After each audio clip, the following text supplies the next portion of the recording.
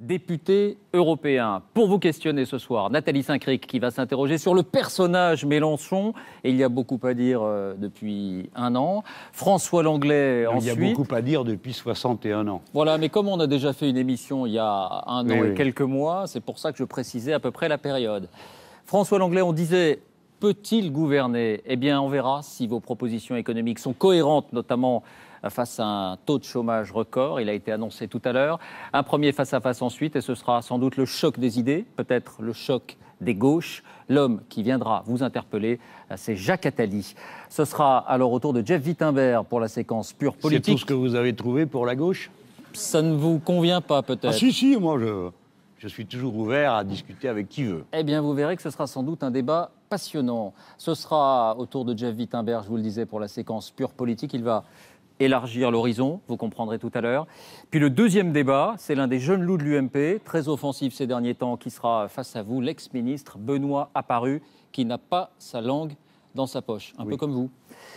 Enfin, pour conclure l'émission, le droit de suite avec nos examinateurs, carnet en main, Hélène Jouan, directrice des magazines euh, d'infos à France Inter, Guillaume Roquette, directeur de la rédaction du Figaro Magazine, et puis Le Regard venu d'ailleurs. Nous accueillons avec plaisir Paolo Levi, correspondant à Paris de l'agence de presse ANSA. Bonsoir à vous trois.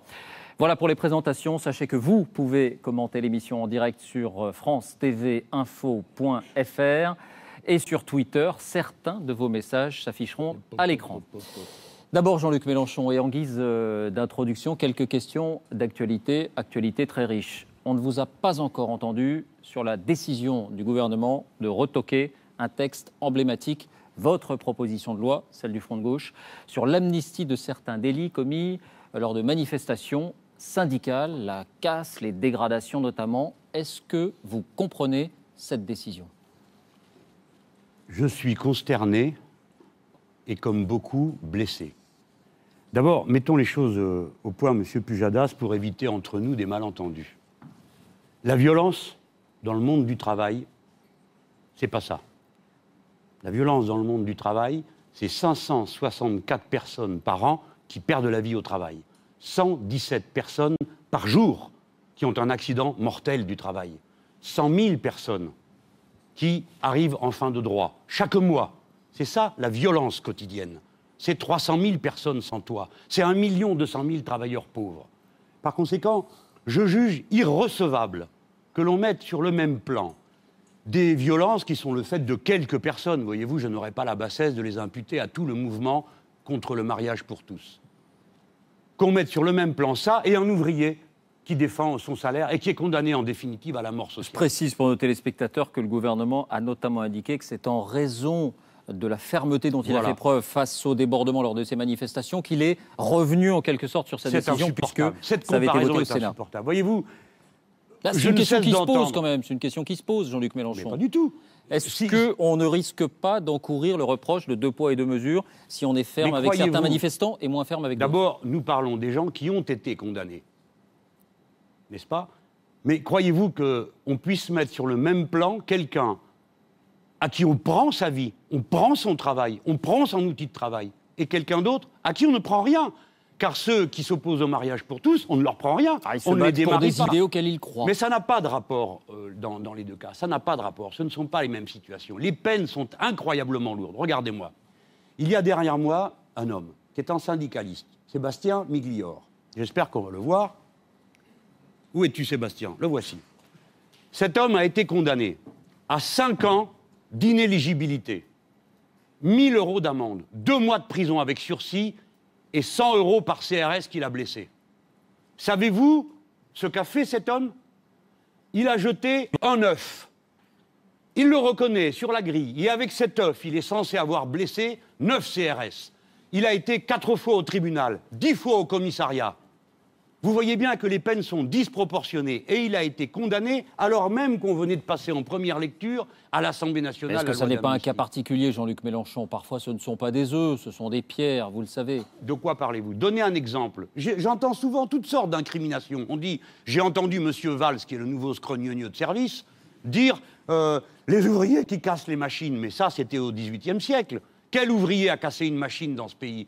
Autre violence Les femmes de Saudi Vous Médical. savez qu'il y a eu des tracteurs, par exemple, jetés à l'eau il y a quelque temps lors d'une manifestation. Quelqu'un a jeté un tracteur qui appartenait à quelqu'un d'autre à l'eau. Je crois bien que c'était son propre tracteur qu'il jetait à l'eau. Je vais vous donner un autre exemple de violence que subissent les ouvriers, les ouvrières, les salariés. 31 jugements en faveur des femmes de Saudi Médical. Pas un n'est appliqué. Et le président de la République, qui est censé être le garant de l'autorité judiciaire, ne fait rien. Les, les- travailleurs de Fralib, toute la France connaît maintenant la lutte des travailleurs du thé éléphant. Eh bien, on en est au troisième plan social retoqué. Unilever, la multinationale, n'en tient aucun compte. Que fait le gouvernement si respectueux de la loi, de l'ordre et de la justice? Rien. Quand il s'agit d'un ouvrier, quand il s'agit de syndicalistes, on ne fait rien. Pourquoi? Et maintenant, je viens, Monsieur Pujadas, ça sera la fin. Je suis un homme de gauche. Dans ce gouvernement, il y a des femmes, des hommes de gauche. Beaucoup d'entre nous ont été syndiqués. L'homme qui m'a élevé avait une carte de la CFDT. Mon père avait une carte de FO et moi j'en ai une de la CGT et du SNES. La plupart des dirigeants socialistes sont dans cette situation. Ce sont nos pères, nos mères qui ont été des syndicalistes. Être un syndicaliste, c'est vivre dans l'angoisse du lendemain. Les copains viennent vous voir seulement quand ça va mal et pas le reste du temps. Oui, Jean-Luc Mélenchon. gens Mais la CFDT, puisque vous en parlez, elle, elle dit la violence n'a pas droit de citer dans une manifestation. Elle ne Mais- semble pas choquée par cette décision du Mais gouvernement. attendez, moi je ne sais pas ce qu'a dit la CFDT, et pardon de vous le dire, Pujadas, je ne vous dit. crois pas sur parole. Je vais vous dire Elle une chose, écoutez-moi, je vais vous dire une chose que n'importe quel homme ou femme de gauche va vous dire. Aucun d'entre nous n'aime la violence, mais qu'est-ce que vous croyez? Vous croyez que Sébastien s'est levé ce jour-là en disant tiens, je vais jeter un œuf et je vais toucher 9 CRS pour les blesser Enfin, c'est pas sérieux. C'est pas comme ça que ça se passe. Ce sont des moments tout à fait particuliers et exceptionnels. Les circonstances atténuantes tiennent à la violence que subissent ces gens, à la peur qu'ils ont dans ces moments-là. Dans le cas de Sébastien, on venait d'être gazé. Ah, vous croyez que ça met de bonne humeur d'être gazé? Donc, que font nos camarades, les délégués syndicaux? C'est toujours eux qu'on attrape, c'est curieux. Vous avez remarqué, il peut y avoir 14 000 personnes, c'était le cas de leur manif, dans une ville de 50 000. Il y a 14 000 personnes qui est coupable, justement, le délégué syndical. Ça ne tient pas debout. J'en appelle à la conscience des parlementaires de gauche. Ne trahissez pas votre famille, rompez les rangs, votez avec nous. C'est absolument incroyable. Monsieur Pujadas, cette décision a été prise par qui? Je me pose la question. Par Ni le les Verts gouvernement, été- par François Hollande, par François Hollande, intuitu personné sans doute. Sans doute. Dans On n'imagine pas qu'une décision de cette importance soit prise sans son Monsieur aval. cas. Pujadas, je pense comme vous. Dans ce cas, quelle duplicité Parce qu'il m'a promis, les yeux dans les yeux, qu'on ferait l'amnistie. Il y a eu un engagement formel vis-à-vis de vous, de François J'en Hollande. donne ma parole d'honneur. Quand ça Il m'a dit, la première fois que je l'ai rencontré après son élection, je lui ai posé le cas de l'amnistie. Il m'a dit, ah mais c'est très intéressant, je le note. Là, je vous rejoue la scène. Ça, c'est pas un engagement. Il note, vous allez voir. À la fin de l'entretien, je lui dis, mais je peux parler de l'amnistie? Il me dit, ah oui, oui, c'est une très bonne idée. On va l'inscrire à l'ordre du jour de la conférence sociale. Je lui dis, je peux en parler Il me dit, ah oui, oui, ça aidera. C'est pourquoi j'en ai parlé. Et vous avez des images d'archives où on me voit, accompagné de Martine Billard, parler de cette amnistie, sinon je ne l'aurais jamais fait. J'ai donc créé un faux espoir auprès de milliers de gens qui se sont dit Ah ben Mélenchon nous ramène ça à la maison. Et moi-même, je le croyais. Vous aviez dit les parlementaires de gauche qui voteront contre cette amnistie, je les pourchasserai jusque dans les plus petits villages de France.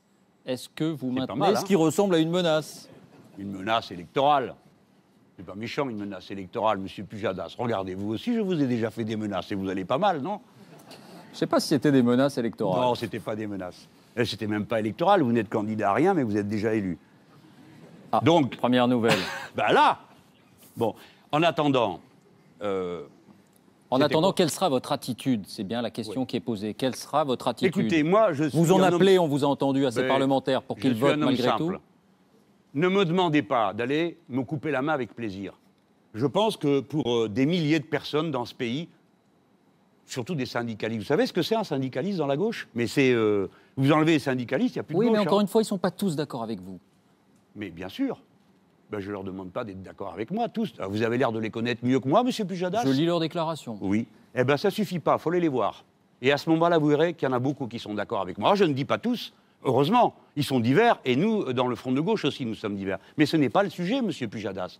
Le sujet, c'est de savoir qui représente quoi. La gauche représente les salariés organisés.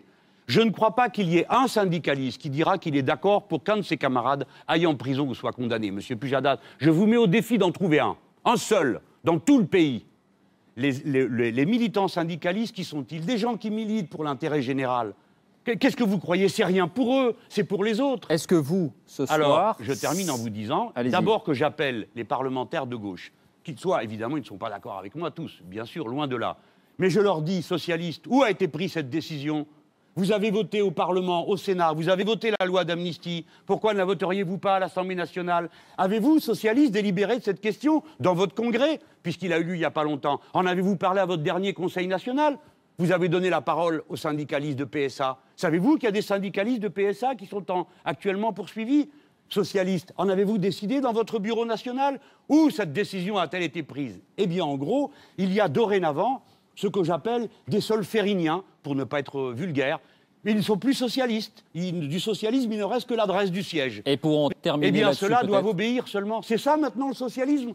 Obéir aux ordres du chef qui a décidé sans vous prévenir une nuit qu'on n'amnistiait pas les syndicalistes? Allons, un peu de fierté, un peu d'honneur. Vous verrez que les, parlementaires d'Europe Écologie Les Verts, qui ont voté au Sénat avec nous, voteront à l'Assemblée nationale l'amnistie. Jean-Luc Mélenchon, si cette disposition est retoquée à l'Assemblée nationale, est-ce que vous appellerez les syndicalistes dans les manifestations à éviter toute violence ou est-ce que vous leur direz ce, refus est scélérat et donc je, ne vous décourage pas de euh, vous livrer éventuellement à des violences?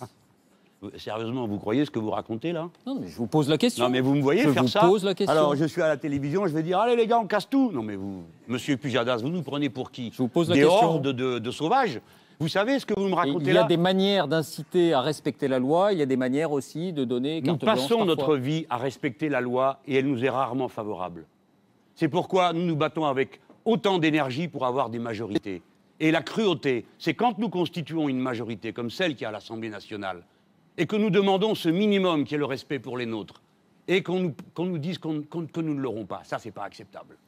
Deuxième question d'actualité, euh, Jean-Luc Mélenchon. Mais sérieusement, vous, pensez que nous appelons les gens à aller se frapper dans la rue non, non, non, non, je ne vous incite à rien. Je vous pose une question, vous répondez. Non, tout va bien. innocente. Et vous-même, vous appelez à quoi? Vous appelez aux gens Moi, je n'appelle à, rien, mais je n'ai pas encore non, été mais attendez, vous êtes à la télé. Oui. Vous avez le pouvoir. Est-ce que vous appelez les gens à ne pas avoir de compte en et à tout donner au-delà de 30 000 euros par mois? Jean-Luc 30 000 euros, c'est pas mal. Hein, Soyons sérieux. Vous avez dit récemment. Mais je suis très sérieux, c'est dans mon programme. Voilà, mais moi je n'appelle à rien du tout, je n'ai pas encore de mandat pour je ça. Je vois bien, mais vous insinuez. Vous avez dit récemment, Matignon, pourquoi pas, dans ces conditions non, Après cette décision, est-ce que ça n'est pas une vue de l'esprit Est-ce que la rupture n'est pas consommée, euh, la rupture définitive avec François Hollande? D'abord, je n'ai pas dit Matignon, pourquoi ah, pas C'est un peu ce que vous avez. Non, j'ai dit je suis candidat à être Premier ministre, c'est pas pourquoi pas. Bah, ça ressemble à ça. Non, c'est je demande. On joue sur les mots, d'accord. Je ne joue pas sur les mots je dis quelque chose de très précis. Et ce n'est pas une affaire de sentiment personnel entre François Hollande et moi, qui n'avons d'ailleurs jamais été fâchés, je vous, je vous en informe, hein, personnellement. Pour se fâcher avec François Hollande, il faudrait arriver à avoir une discussion suivie. C'est pas possible. Bah, Si vous estimez qu'il a euh, rompu son engagement, peut-être que vous avez des raisons d'être fâché. Oui, mais lui non. Ça le fait rire, donc euh, tout le fait rire. Alors ça aussi, ça doit le faire rire. Mais mettons ça de côté, ce n'est pas nos personnes qui sont en cause. Une majorité a été élue. Il n'y a pas un député socialiste qui soit élu sans une voix du Front de gauche. De même qu'il n'y a pas un député du Front de gauche élu sans les socialistes. Et de pareil pour les écologistes. Donc, tout ceci constitue un tout. Qui décide où est le centre de gravité Parce que cette majorité a été élue sur un programme, et entre-temps, M. François Hollande a déplacé le curseur sur la droite de son parti, sur les solfériniens. C'est eux qui ont le dernier mot. On peut parfaitement imaginer que le même curseur soit déplacé de l'autre côté de l'Assemblée. Et c'est pourquoi j'ai commencé par dire ben, je suis prêt à le faire, mais si quelqu'un d'autre veut le faire, changer de cap. Par exemple, j'ai interpellé M. Montebourg. M. Montebourg a-t-il répondu euh, Oui, je suis prêt à le faire, rassembler tout le monde? Il a répondu non. Il ne veut pas. Donc, moi, je veux qu'on change le centre de gravité. Je veux qu'on passe à une autre politique. J'y suis d'autant plus enclin que celle qui s'applique ne marche pas. Alors, qu'est-ce que je vais faire, M. Pujadas?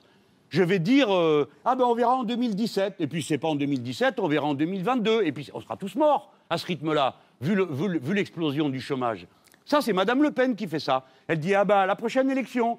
Et puis quand l'élection arrive, elle dit, moi, j'ai pas d'avis au deuxième tour, à la prochaine. Ça fait 40 ans qu'ils font ça, les Le Pen. Dans la Ve République, diriger un gouvernement, ça suppose, en tout cas dans la même majorité, d'avoir un rapport de confiance avec le président de la République. Vous estimez que vous l'avez toujours Pas du tout. La Constitution prévoit que le chef du gouvernement dirige et conduit la politique de la nation, article 20. Par conséquent, il ne s'agit pas de l'humeur du président de la République.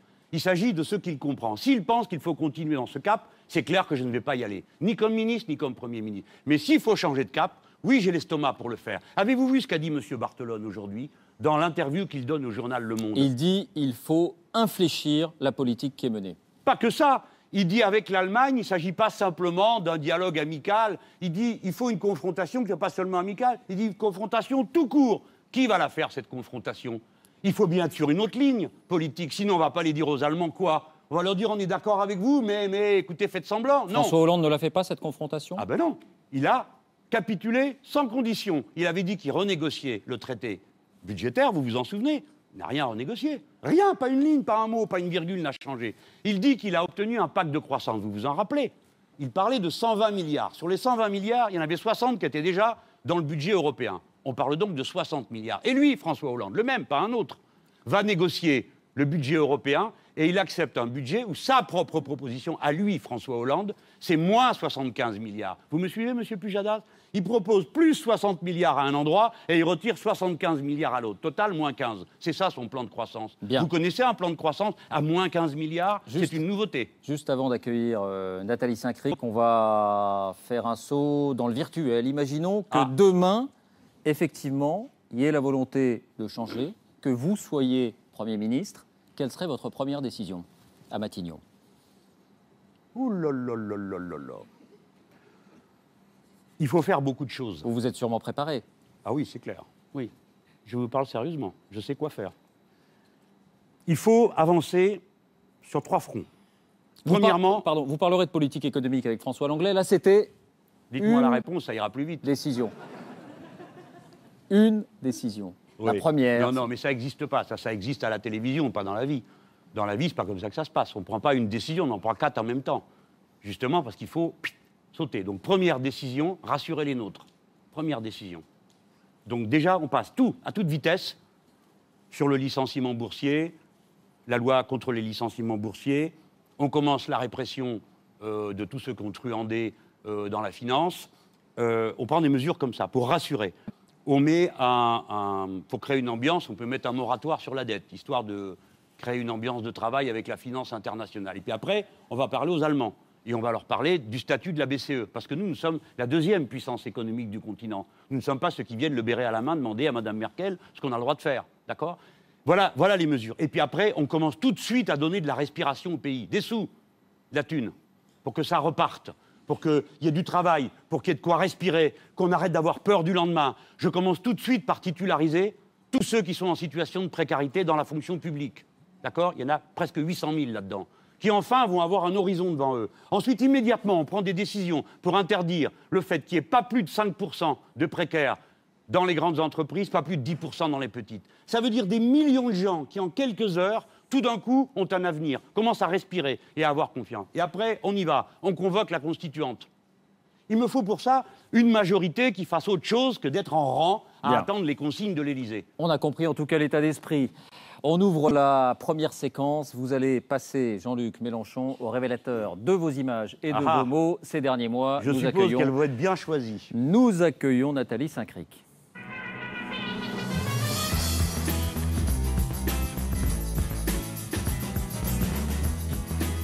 Bonsoir, madame. Bonsoir monsieur. Bonsoir Nathalie. Bonsoir, David. Vous avez 15 minutes, c'est à vous.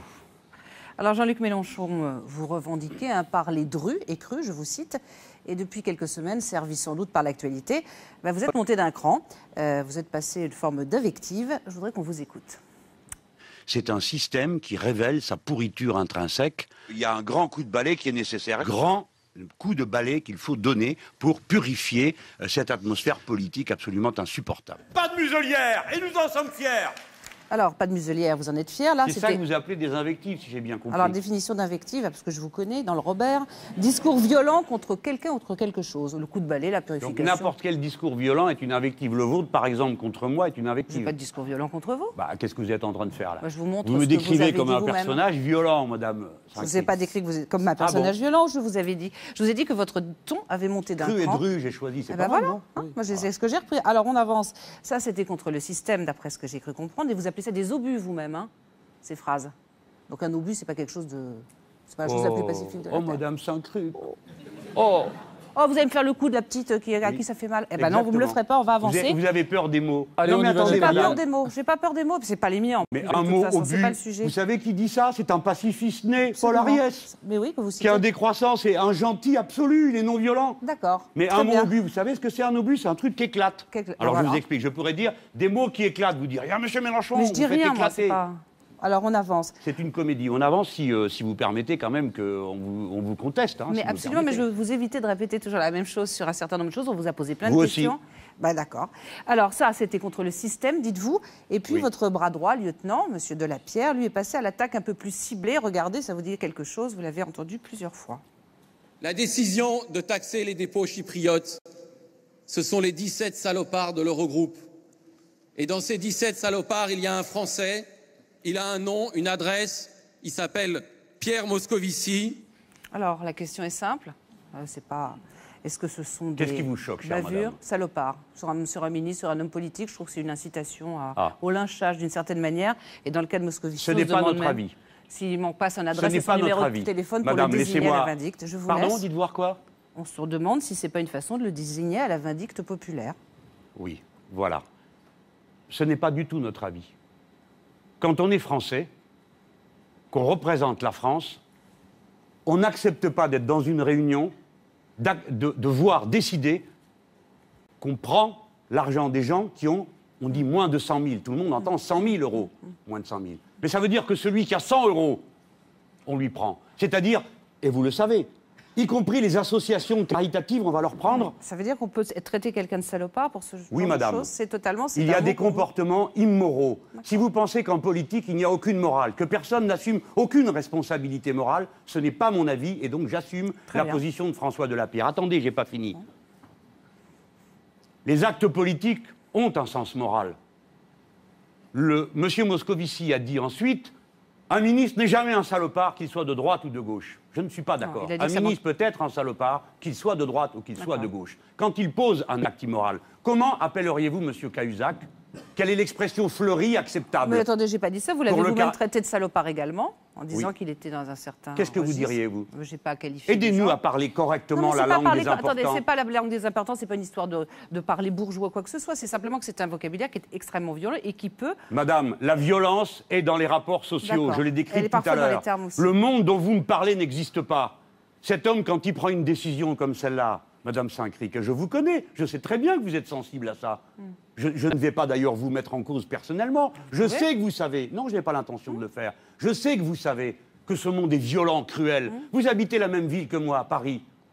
Vous et moi, tous les jours, on passe devant des gens qui dorment dans la rue. Et vous et moi, tous les jours, on se dit qu'on est indigne parce qu'on ne ramasse pas l'être humain qui est là. Donc vous savez que la violence est là. Quand un Moscovici décide qu'on prend, qu'on qu'on va taxer tous les comptes en dessous de 100 000, il sait que dans les comptes en dessous de 100 000, il y a le pauvre petit compte de celui qui a mis ses, coups de- ses sous de côté. Il y a l'association caritative taxée à 27% Il le sait, et pourtant il lève la main.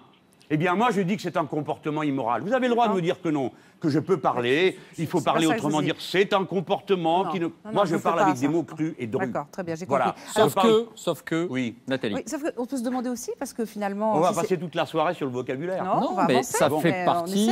Non, de mais je vais votre pas, vous êtes- pensez quand même pas qu'on allait avancer en acceptant tout ce qui se dit. Attendez, je vais le- vous donner un exemple, Madame Saint-Cric. Le verbe, c'est l'action aussi. Oui, oui, oui. C'est un plan, Ah oui. bien sûr. Mais je vais vous montrer un exemple de, de relations médias-hommes politiques qui sont insupportables. Souvent, on m'incrimine. Mais regardez, le journal Libération décide de mettre entre guillemets le fait que je parle de Purification éthique. Éthique. Vous avez vous-même passé l'extrait dans lequel je parle de purifier l'air. Purification. J'aurais dû dire aéré, j'aurais été traité d'aérateur. Et de ventiler, ventilateur. Ça, mais je connais votre réponse. c'est- Mais vous la connaissez vous, mais les gens qui nous écoutent ne la connaissent peut-être pas. C'est la raison pour laquelle je ne me laisserai pas insulter sans me défendre. mais dites ça à Libération, Depuis, pas à nous. Mais c'est pas à vous que je le reproche. Je suis en train de traiter d'un cas général les relations de certains médias avec moi. Les, les médias qui sont solfériniens me tapent de cette façon. Et ensuite, maintenant, régulièrement, vous avez des gens qui disent Mélenchon, qui parle de purification éthique. Qui a dit ça? Le ministre Montebourg. Et ça se propage de l'un à l'autre. C'est le système de la rumeur dont Libération est devenu, comme chacun le sait, un parangon. alors là, Sauf que, sauf que, Oui. Sauf que Nathalie. On peut se demander quand même si dans les mots que vous choisissez, euh, il n'y a pas une petite stratégie marketing, un peu de communication, Oui. et que c'est pas du tout des mots que vous avez choisis au hasard. Écoutez, c'était le coup de 26 balai, je ne l'ai pas Le choisi coup de au balai, c'est pas hasard, salopard probablement pas. Écoutez, vous l'expliquez vous-même euh, en coulisses, c'était le 26 mars après Mais il n'y a pas euh, besoin de coulisses. euh. votre émission avec Patrick Cohen, notre confrère de France Inter. Regardez. Que quatre médias gueulent parce que je parle mal, mais au contraire, euh, putain, qu'ils fassent ça tous les jours. Mais vos amis communistes, ils en disent quoi de je m'en fous, ça m'est complètement égal. Ils disent, ils disent, ils commencent par dire, oh là là là là, ils ont peur. Mais même ça, je le connais, parce que quand j'étais à la, à la gauche socialiste, c'était Drey qui me faisait cet effet. Il me je me disais, mais t'es fou, t'es fou de parler comme ça, arrête ça, bon, t'es dingue, on va se fâcher avec tout le monde, c'est pas comme ça qu'il faut faire. Bon. Et Juju, il avait ce talent-là, de voir où était la faille, et bam, on allait directement là. Et après, j'ai vu comment il s'y prenait, j'ai su le faire moi aussi. C'est un peu l'envers du décor. On croit que c'est le cri de colère d'un indigné et on se rend compte en fait que c'est une Alors là, il y a la stratégie totale. marketing. Vous avez tout ce qu'il vous faut là Ouais, Les c'est images volées, euh, la dé- on a été diffusé déjà. non, ça a mais été pas diffusé. démasqué, c'est simplement, Ouais, ouais. vous avez dit Non, mais vous-même avant, j'assume tout ce qui est avant dit là. en disant c'est une Il n'y a qu'une chose qui me chagrine parce que je ne voudrais pas qu'on la comprenne mal. Lorsqu'il est question des communistes. Ouais, quand vous Je dites, parle- euh, non, je- on me parlait de quelqu'un de bien précis, j'ai dit je m'en fous. Bon, peu importe. Maintenant, voyons le fond.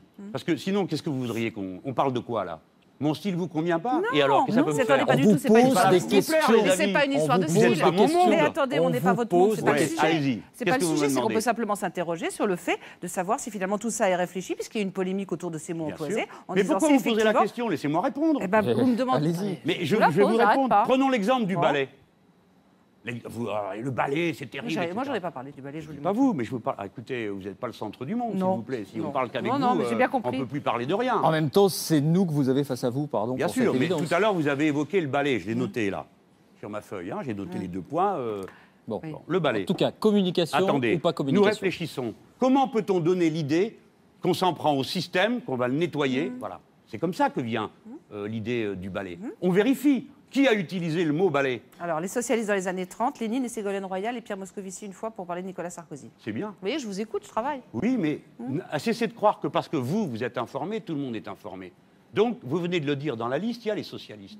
Pourtant, les socialistes Dans ont les dit- années 30, c'est pas forcément Oui, la meilleure. euh, Mais les socialistes ont dit, ça rappelle les années 30. Ah ben oui, ça rappelle les années 30. Ils voulaient dire, Mélenchon, c'est presque le- l'extrémiste et tout. Oui, ça rappelle les années 30. Ça rappelle leur propagande, parce que c'était leur mot d'ordre dans les années 30. Depuis quand le ballet est Non, devenu attendez, très un objet aussi effrayant que des Monsieur Mélenchon, vous savez très bien La que révolution des ballets est commencée, comme me dit Monsieur. Frédéric Lordon. Donc le 5, je pense qu'il va y avoir plein de gens qui vont venir avec des ballets, rien que pour vous Mais vous embêter. savez très bien que toute cette terminologie sortez les sortants et tout ça, c'est quelque chose Mais qui je n'ai pas dit sortez les Voilà, sortants, gardez pour ressemble. vous Non, ce je genre de rapprochement. Jean-Luc Mélenchon, Je ce qu'on apprend dans cette Oui. séquence, c'est que vous vous montrez indigné lorsque vous êtes attaqué pour vos propos et on se rend compte que vous cherchez vous-même ces attaques parce que ça fait partie Ben, de votre bien sûr calcul.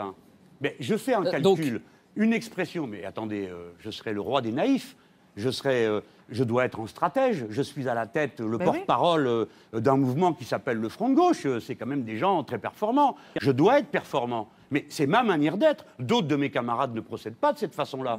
Par exemple, vous n'entendrez pas Pierre Laurent parler du ballet.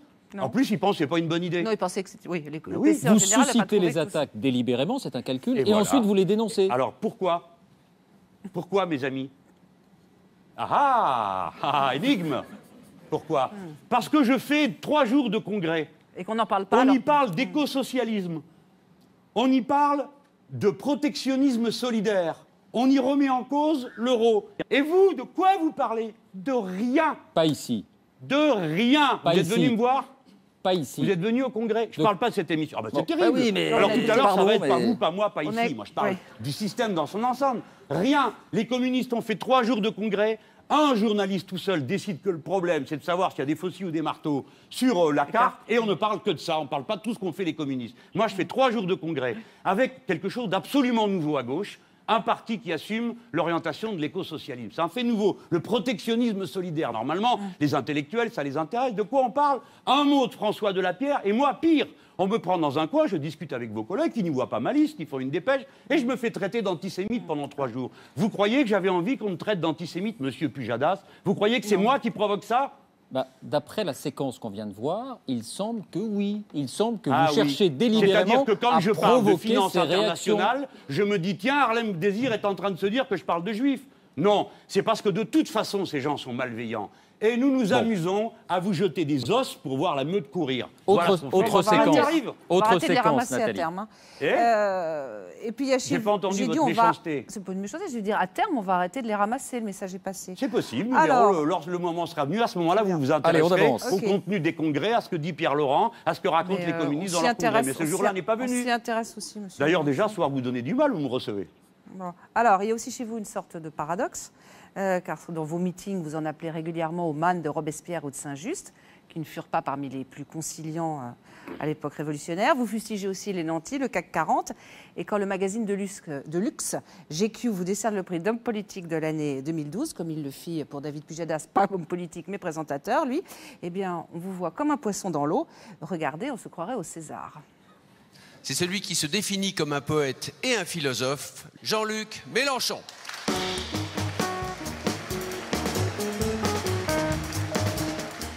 Mesdames et messieurs, l'humble roturier que je suis se réjouit d'être dans la noblesse de l'entre-soi que je vois devant moi. Je ne voudrais manquer à aucun de vos usages. J'ai noté qu'on a commencé dans la langue de l'occupant. Je veux y souscrire. Ladies and gentlemen, I would not be a bad liar this night. Yes, I am very dangerous. With my grayed bushy hairs and my teddy bear face, je me demande ce que vous avez bien pu me trouver. Euh, Jean-Luc Mélenchon, la question est simple. On vous voit aussi en photo avec euh, Yannick Bolloré. C'est bien, hein, quand même. hein. Ah bah, je sais pas, ça dépend. Mais on a un peu l'impression que c'est le, le- le star system, c'est-à-dire que finalement que vous fréquentez aussi euh, l'establishment, comme on dit. Moi, je ne parle pas d'establishment, c'est des l'extrême droite. personnes. Moi, je parle du système. l'établissement, le système ou les belles personnes, comme vous dites. Le système, ça me vient de ma jeunesse. On disait tout le temps, le système Mm. capitaliste par-ci, le système capitaliste. Alors à la fin, on contractait, c'est le système. J'ai jamais parlé d'establishment. Mais oui, je fréquente tout le monde. Et Mm. Mais je vous avez l'air laisse- même d'y prendre un petit peu de plaisir quand même. Vous, ma- madame, quand je prends du plaisir, je ne me coince pas, moi. Je me laisse aller. C'est-à-dire qu'une fois que j'y suis, je le fais. C'est comme ici. hein. Oui, bah, j'y suis, oui. et ben, j'y suis. Je fais ce qu'il y ouais. a à faire. Donc là, en effet, et je peux vous donner un autre exemple pour euh, faire des révélations. Hier, j'étais à table avec deux amiraux. Et l'autre jour, j'étais à table avec trois ingénieurs. Non, mais vous voyez très bien ce qu'on veut dire. Jean-Luc Mélenchon, Oui, ce que je dit vois cette- tout le ce que monde. dit cette séquence- Ah, Qu'est-ce que vous voudriez? Ah non, Que non, je non, chemine attendez, la attendez. barbe hirsute euh, dans les souterrains, Jean-Luc euh, avec Mélenchon. mon balai, Ce que dit cette euh, et séquence. restant avec mes amis à comploter. Mais c'est pas ça. Mais moi, écoutez, ils sont marrants comme tous ces gens. Ils invitent un type qui va leur faire les poches. Et qui- Oui, mais ce que dit cette séquence, Jean-Luc Mélenchon, c'est que Ils le disent d'ailleurs. Je dis, Jean-Luc mais vous avez vu, Mélenchon. ma cravate est rouge, je prends tout au-dessus de 300 000. Oui, mais Ils les- m'invitent. les gens, Mais comme disait Lénine, les bourgeois vont nous vendre la corde pour les pendre. Les C'est gens, violent, ça. hein. les Oh gens, là là, pas les gens qui vous voient ne savent peut-être pas que le système que vous dénoncez, il vous adoube, il vous adore. Mais vous prenez quand les gens- vous dites, quand vous dites, je suis vous dangereux, prenez les gens pour quand vous dites je suis dangereux, tout le monde s'amuse. Et finalement, bien. vous êtes en plein dans le système, Parfait. Mais plus vous leur comme dites, le fou du roi, pardonnez-moi pour l'expression. Mais euh, je vous pardonne tout ce que vous voulez. Mais j'ai ma propre stratégie. Je préfère que ces gens me reçoivent, s'amusent de voir un type qui leur annonce qu'il va leur faire les poches. Ils se tiennent tranquilles. Ah, mais Vous n'êtes pas un peu pipolisé aussi Il y avait ça derrière comme Ah, question. c'est ça. Et à votre avis, euh, vous qui n'en rêvez pas d'être pipolisé, Oh, c'est un défaut. moi, je- Au présentateur de l'année, je peux attendre 25 ans avant Bon, que ça vienne. alors- suis homme politique aussi. Non, mais ce n'est pas le sujet pour moi. Le sujet pour moi, c'est que je dois casser, à intervalles Ouais. réguliers, une image qui est donnée de moi. Là-dedans, il y a des gros capitalistes, c'est sûr. Mm. Et puis, il y a aussi des poissons qui m'intéressent. C'est quoi ces poissons? Mais oui, mais oui. Des grands décideurs, des types de très haut niveau, il y en avait là-dedans, qui sont dans des grandes administrations, dans des grandes entreprises. Et ça m'intéresse de les connaître, de savoir ce qu'ils savent faire, et éventuellement de repérer le numéro 2 du numéro 1. Parce que comme le numéro 1 va sauter, il vaut mieux que je connaisse le numéro 2. D'accord. Le temps est écoulé, mais on va peut-être prendre quelques minutes. On n'a pas entendu le gong. triste, Je m'adresse à Jean-Jacques Amsalem. pas, ni rien. Ah, Je toi, je sors pas souvent. du tout, hein. mais attendez, je vous Je sors pas souvent, je sors deux fois dans l'année, ils en font une histoire. Voilà. Et Pujadas qui dit, les gens, ils ne savent pas que, mais vous rigolez, Pujadas, vous savez qu'il y a Internet, là, vous avez entendu parler. Tout ça, c'est filmé, hein. cinq minutes après, vous avez des gens qui font des tweets. Ah, Oui. Mélenchon, il a parlé en anglais, etc. Non, mais- Il faut vivre dans votre temps un peu. Les gens sont moins bêtes que vous le croyez. Peut-être que ceux qui votent pour vous ne savent pas que vous allez vous aussi dans ce genre d'assemblée, que vous y trouvez du Il faut plaisir. pas y aller. Dites donc, vous allez au siècle, vous, régulièrement, et moi, je devrais pas aller une Oui, fois mais moi, par je an. ne me présente pas devant les le électeurs avec une certaine image. Mais non, je ne me présente pas avec une image, vous avez rien compris. Ah, vous vous êtes présenté comme un anti-système. Je me présente avec un programme, Pujadas. Mais- C'est-à-dire que dans mon programme, il est marqué nous allons faire 14 tranches d'impôts et à la dernière, on prend tout. Et si ces gens-là m'avaient dit Monsieur Mélenchon, qu'est-ce que vous faites à la dernière tranche d'impôts? Je vous prends tout. Et d'ailleurs, là, vous venez de passer une photo. Comment vous, comment vous l'appelez, cet acteur merveilleux, là Son nom Fabrice m'échappe à l'instant. Hein? Fabrice Fabrice Lucchini. Génial. Lui, il dit Moi, j'ai un créneau, je suis moche, radin et, réactionnaire, il n'y a personne qui veut être dans ce créneau. On en rigole tous les deux. Il me dit Dis donc, tu prends tout euh, à 300 000, mais avant ou après impôt? Donc, c'est vous dire à quel point il plane, il n'a pas compris que c'est l'impôt qui prend tout. Alors, je lui dis donc Jusqu'à jusqu'à 300 000, tu gardes tout. Ah, il fait, oui, je le vois qui essaye de calculer. En fait, il n'y comprend rien, c'est un acteur. hein. D'ailleurs, on a parlé de Robespierre. et Vous feriez bien d'écouter ce que je vais vous dire. La révolution, ça se découpe pas en morceaux, madame. Vous le savez comme moi, Nathalie Saint-Cric, parce que vous avez fait les mêmes études que moi. La révolution, a dit Clémenceau, c'est en tout. Et dedans, il y a Robespierre, qui est notre libérateur, parce qu'il a donné la citoyenneté aux Juifs. Parce que c'est lui qui a défendu le droit de vote des femmes. Donc on ne fait pas le tri. On ne dit pas ça je prends et ça je veux pas. Parce que c'est en tout, c'est comme ça. Peut- Et ben lui, Lucchini, il n'aimait pas Robespierre. Ouais. Je lui ai dit, il me dit qu'est-ce que je dois lire? Je lui ai dit si jamais je lui propose du Soboul, on est mort, il va avoir peur. Donc je lui ai dit non, lis Michelet, parce que Michelet, il n'aimait pas Ah, C'était votre livre, votre premier livre. Voilà. quand vous avez Nathalie, Non. On a déjà horrible. parlé de François Hollande tout à l'heure. Je vous On propose de de Michelet, maintenant. parler de quelques maximes de morale Oui, laïque alors, parce que c'est très finir, tendance finir, en ce moment. ouais.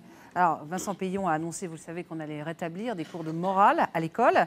Euh, alors, avant de voir ce que seraient les cours de morale à la Jean-Luc Mélenchon, euh, une petite séquence nostalgie. On est Aïe, aïe. Oui. à dans l'après-guerre. Regardez.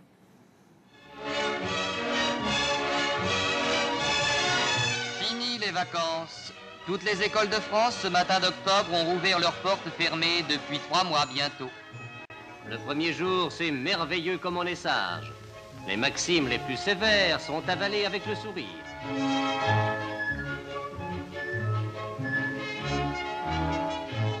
Il faut que ce petit monde grandisse et s'instruise en paix. Euh, Jean-Luc Mélenchon, vous êtes favorable à cette, euh, au retour de la morale à l'école Alors, euh, c'est un beau sujet. Et euh, je connais Vincent Payon de longue main au Parti Socialiste, et pour son travail, c'est un intellectuel. Euh, donc je dirais que j'ai un a priori favorable lorsqu'il parle de questions de fond. Sur le sujet, je ne crois pas être d'accord avec lui. Euh, mais je voudrais le dire euh, tranquillement parce que j'admets qu'on pense autrement que moi. Ce n'est pas une question, euh, euh, comment dire, euh, de dogma. Bon.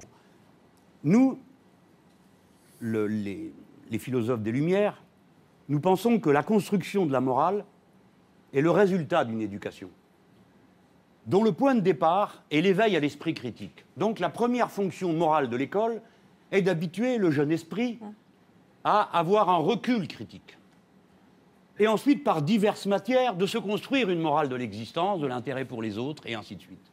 Par conséquent, nous ne sommes pas partisans de la morale, en quelque sorte, administrée aux autres. Cependant, il n'y a pas d'inconvénient à ce qu'on mette en débat parmi les enfants à tel ou tel moment, et c'est une discipline nouvelle, c'est très dur pour les enseignants, c'est un défi. Lorsque j'étais ministre de l'enseignement professionnel, on m'avait suggéré de mettre l'enseignement de la philosophie dans l'enseignement professionnel. Je ne l'ai pas voulu parce que la pédagogie n'était pas au point.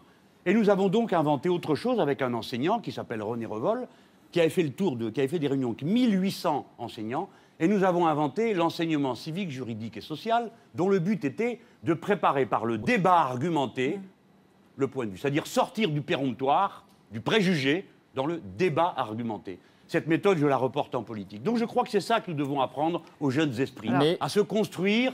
Alors, une morale, alors, on ne sait plus très bien si on enseigne de la morale laïque ou d'une manière laïque de la morale. morale. Vous avez remarqué qu'il y a eu. elle a des un changement. propositions à vous J'ai faire, trois Nathalie. propositions à vous faire. Ah, voyons. Première euh, maxime. À inscrire sur le tableau noir. Est-ce que vous le le tableau feriez? noir, Voilà. Aide-toi, le ciel t'aidera? Euh, ça ne me paraît pas très réaliste. Il vaut mieux compter sur le fait qu'on cède. Quant au ciel, ma foi. euh, J'aurais pensé que vous ayez trouvé ça trop libéral. Bon. Écoutez, je ne veux la offenser Fontaine, la, hein. foi de personne, mais je recommande de faire des choix raisonnables, c'est-à-dire des choix raisonnés. Il vaut mieux céder. Quant au ciel, ces arrêts sont souvent assez mystérieux. Euh, patience et longueur de temps font mieux que force et que rage. C'est François Hollande Oui. versus Jean-Luc Mélenchon. Non, je suis un homme extraordinairement patient, si vous voulez bien réfléchir au fait que la première fois que j'ai défendu la Sixième République, c'était en 1991. Et la dernière J'ai de la constance. Ça, j'ai remarqué. Mais c'est, il faut faire attention que ça ne soit pas un encouragement euh, à la passivité ou à la résignation. Car la rage, parfois, éclaire le caractère et permet de s'engager. Quant à la force, il vaut mieux l'avoir de son côté. Vous êtes plutôt du côté force et rage. Quand même cru comprendre. Alors, le la, troisième- la fin justifie les moyens. c'est Non, pas en exactement... aucun cas. En aucun cas. Euh, Marc, ça vient de Machiavel, c'est pas exactement votre. Merci Non, Nathalie. non, euh, cette, Oui. cette phrase-là, elle, a, elle a fait l'objet de nombreuses discussions avec mes camarades, car euh, le- les moyens préfigurent toujours les fins. Il ne peut être question que la fin justifie les moyens. Il faut être droit, responsable et moral à chaque étape de la décision.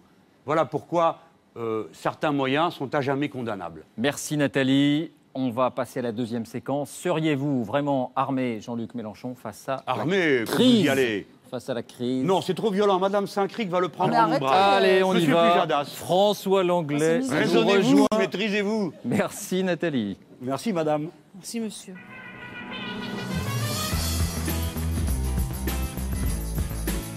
Ah, voici, monsieur. Et où sont les graphiques Qu'est-ce qui vous soucie? Ils arrivent, ils François, arrivent. Ah, Tout est prêt. Bonsoir François. Bonsoir, David. Vous avez 15 minutes, c'est à vous. Vous vouliez parler d'abord du chômage avec des travaux pratiques en quelque sorte. Bonsoir, Monsieur Mélenchon. Bonsoir, monsieur Langlais. On connaît depuis peu les chiffres du chômage. Donc pour le mois de février dernier, on est à un record 5 millions de chômeurs au total en France, 3 millions d'eux si on prend la mesure la plus étroite. Il y a eu plusieurs dossiers dans Ouais, euh, l'actualité. 5 millions, c'est quand on compte dedans les gens qui ont fait 72 heures ou un peu plus. Qui font un travail partiel, Donc c'est-à-dire quasiment rien, on survit avec 72 heures de travail. Parmi les dossiers emblématiques justement de cette montée du chômage et de la désindustrialisation qu'on a connue dans les dernières semaines, il y a évidemment les hauts fourneaux de Florange, il y a la raffinerie de Petroplus et puis PSA, le constructeur automobile Peugeot-Citroën, qui va fermer une usine à Aulnay, une usine Citroën, et fermer d'ailleurs d'autres, enfin en tout cas diminuer le nombre de ses emplois. Qu'est-ce que vous feriez sur cette affaire Oui. de PSA si vous étiez à Matignon? Je commencerai par pas faire ce qu'on me suggérerait de faire. C'est-à-dire d'examiner un cas comme s'il était un cas à lui tout seul et sans tenir compte de l'environnement. Commençons d'abord par dire une chose, monsieur Langlais. Le cœur de tous les problèmes, absolument tous, les déséquilibres des comptes sociaux, le déficit, prenez le problème par le bout que vous voulez, la décomposition du tissu urbain, tout, tout part de des emplois et du chômage de masse. De la croissance. On en est d'accord. Attendez, la croissance est une autre paire de manches. Donc tout part de là. On est donc bien d'accord que tant qu'on ne règle pas ça, on fait du bricolage. Oui, mais vous arrivez à Matignon. Vous ne pouvez pas tout faire en même temps. PSA, la décision est à prendre là dans les jours qui viennent. Oui, oui. Ça a été. Eh bien, je commence par ne pas m'en laisser compter. Et je ne me laisse pas intimider par un patron qui n'a jamais accepté le dialogue avec ses ouvriers. Depuis toujours, PSA a été le patronat le plus dur du pays. Nous venons de lui garantir pour sa banque interne 7 milliards d'euros par l'État. On y a nommé un administrateur. Monsieur Gallois. Que fait-il là-dedans, cet homme? À l'instant, il vient d'être décidé au conseil d'administration qu'on va augmenter de, de 300 millions les stocks options. Ça n'a pas été décidé. En tout cas, Monsieur Gallois, on imagine qu'il regardera ça de près. C'est Oh, pas non, ma non, question. non, non, attendez l'anglais. Ça a Non, été non. décidé ou pas Euh, pas l'anglais, s'il vous plaît, Monsieur l'anglais. Voilà, c'est mieux. Excusez-moi. Monseigneur, si vous Non, voulez. non, non, non. Ça ne me dérange pas. Je vous appelle Monsieur Mélenchon. Vous Très bien, pareil. vous avez raison de me rappeler. Oui. euh, la- les... Parce que vous savez, les gens de gauche sont un peu bruts. Alors Ça n'a rien à voir, les- c'est- Il faut les C'est éduquer. une hein. question de familiarité oui, oui. qui. Oui, je comprends. Je n'ai aucune familiarité avec vous. Alors, c'est parfait. Et vous allez bientôt voir pourquoi. Continuons sur cette affaire. Vous m'avez interrompu parce que le tableau est assez pitoyable. Qu'est-ce qu'on fait, Oui ou non, PSA a-t-il décidé de racheter une part de ses actions? Oui ou non? Monsieur Mélenchon, vous, qu'est-ce que vous faites à Matignon Ah oui. là-dessus? Vous Alors, ça vous dérange pas d'apprendre qu'une entreprise qui est en train de fermer des sites rachète ses propres Je- je ne actions suis pas de PSA, l'argent qu'on euh. jette par les fenêtres C'est pas un problème. Je ne suis pas PSA. Pour les salariés d'Aulnay. Qu'est-ce que vous faites, Mais vous, qu'est-ce que vous vous entendez faites pas la réponse pour les Qu'est-ce que je 3000 fais personnes? Attendez, monsieur Langlais, vous ne voulez pas entendre, monsieur Langlais? Bien sûr. Vous voulez bien entendre, monsieur Langlais? Je ne demande que Eh cela. ben non, vous n'entendez rien. Écoutez-moi, je viens de vous répondre.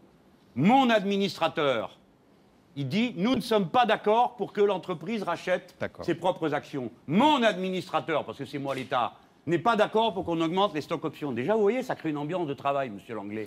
Derrière, on a un marché qui chute de 15% par an Pourquoi? Parce que les À gens n'achètent plus de voitures. Et C'est la même chose chez Fiat. C'est la même chose Oui, euh, chez les constructeurs européens. Renault connaît des problèmes différents. Mais lisez, un bon auteur. Ah bah écoutez, François Langlais qui va payer la crise. Je vous le récite. Mais c'est expliqué là-dedans, très bien. Enfin, vous expliquez une chose de son contraire, mais moi En- je prends en la partie qui m'intéresse. ce que je pense Monsieur Langlais, arrêtons-nous à ce que vous venez de dire. C'est vous, Premier ministre, qui nous oui. intéressez ce soir. Ben, si vous parlez tout le temps, je ne peux pas vous répondre. Ah non, c'est vous qui me. Oui, mais parce que ça, c'est, ma petite facétie. Vous aurez tout à l'heure vos votre tableaux j'espère. euh, donc euh, moi j'ai votre livre bidon. Alors, regardons, regardons ce que vous venez de dire, qui est très important. Vous dites Fiat, vous dites, vous faites le tour. Regardons les caractéristiques communes. Tous ces pays. Fiat, Opel, même problème qui ferme une usine à Bochum en 2015. Parfait. C'est exactement Pourquoi la même chose. C'est là qu'est le. le Vous êtes. Premier ministre. Mais c'est bien ce que va faire le Premier ministre. Il commence par se dire pourquoi c'est comme ça? C'est pas parce qu'il y a un complot. Ou plus exactement, il n'est pas dans l'automobile, le complot. Il y a récession, parce qu'il y a des politiques d'austérité. Et comme il y a des politiques d'austérité, que se passe-t-il? Les gens qui n'ont pas d'argent et à qui on dit sans cesse qu'il faut qu'ils soient payés moins pour qu'ils soient plus compétitifs, n'achètent pas de voitures. Les ouvriers de PSA ne peuvent pas se payer les voitures. Les ouvriers de Fiat ne peuvent pas acheter des Fiat. Autrefois, M. Ford, lorsqu'il il fabriquait des voitures, disait Je paye bien les ouvriers de Ford pour qu'ils achètent des Ford. Donc, la racine du problème n'est pas dans l'automobile, elle est dans l'économie et les politiques d'austérité. Article 1. Article 2, vous avez une famille qui se désengage de ses investissements dans l'automobile. Vous étiez sur le cas de PSA Peugeot. en particulier. Voilà, Peugeot. Il se désengage parce que c'est plus rentable. Jusqu'ici, non. Attendez, écoutez-moi, vous allez voir. Euh, parce que vous ne suivez pas c'est l'actualité. inexact. Mais ils le font. Non, non, mais le- Non, non, la holding. Vous craignez peut-être qu'il le fasse, mais, Mais monsieur. Langlais, écoutez, supportez qu'on vous contredise. Mais vous ne ça savez n'est pas, pas la tout. réalité. Je sais quand même deux, trois choses. Mais sans doute. Oui, ben, mais- je lis dans les journaux économiques que la holding des intérêts de cette famille est préoccupée de se désengager de l'investissement productif. Pourquoi? Parce que toutes les grandes fortunes, c'est une logique de système, ont intérêt à placer de l'argent dans la sphère financière où le rendement de l'argent placé est au-delà du deux chiffres. On est au-delà de 12, des fois jusqu'à 18, vous le savez comme moi. On l'a Un été, investissement oui, dans l'industrie, dans le meilleur des cas, C'est plus difficile. ah, c'est beaucoup plus difficile. Oui, mais ces dernières 4%. années, ça n'a pas été l'attitude de la famille Peugeot. Attendez. Laissons une- un instant la famille Peugeot. J'ai C'est vous voulu qui. C'est vous mais- venez. Oui, mais je prends l'exemple de la famille Peugeot pour illustrer un fait économique majeur que d'ailleurs on trouve dans le livre de M. François Langlais. C'est qu'il s'est constitué à l'échelle de l'univers une sphère financière remplie de dollars qui n'ont aucune contrepartie matérielle. Et à l'intérieur de cette sphère, l'argent circule et fait des taux de profit de 12 ou de 15. On pourrait dire, bah écoutez, euh, tant mieux, c'est de l'argent bidon. Oui, mais ceux qui ont du capital préfèrent placer dans la sphère financière à 12 ou à 15 Non, mais, que dans euh, l'économie réelle. Monsieur si bien que la financiarisation de l'économie produit un dessèchement. On a sauvé PSA en 2025. hein. Euh, si vous partez sur la sphère financière, vous êtes Premier ministre, vous avez une décision à prendre, vous avez un, un Ça fait quatre administrateur. fois que vous me dites Premier ministre. Je vais vous dire une chose. Vous avez bien dit que j'étais nommé Premier ministre, pas patron de PSA. Vous êtes bien d'accord? Non, en même temps, euh, En j'imagine. même temps, je suis nommé aussi patron Ben, de vous PSA. critiquez l'attitude de M. Hérault par rapport à PSA. Donc Oui. j'imagine que vous avez des choses à dire, des choses à prouver, des choses à expliquer, des projets. Ben, je suis en train de le faire. Ah, bah écoutez, c'est pas Non, mais Tony Truant. Non, mais vous, écoutez, je vous en prie, monsieur Langlais. Les gens qui nous écoutent acceptent une explication d'ensemble. Pourquoi ça se passe comme ça? Pourquoi on a du mal à vendre des automobiles? J'ai pas fini. Je vais continuer c'est une réponse. Et c'est une réponse. Les automobiles produites par Peugeot, les automobiles produites par Renault, sont des automobiles qui sont dans la gamme intermédiaire, c'est-à-dire celles des classes moyennes, on va dire. Classe moyenne chez nous, c'est revenu médian, 1620 euros par mois. C'est un peu régressé, c'est ça maintenant. C'est ça qu'on va appeler la classe moyenne. Ça fait beaucoup de monde. Ces gens-là ne peuvent pas acheter d'automobile. Je ne parle pas encore de quelle automobile et comment fonctionne l'automobile, je vais le dire dans un instant.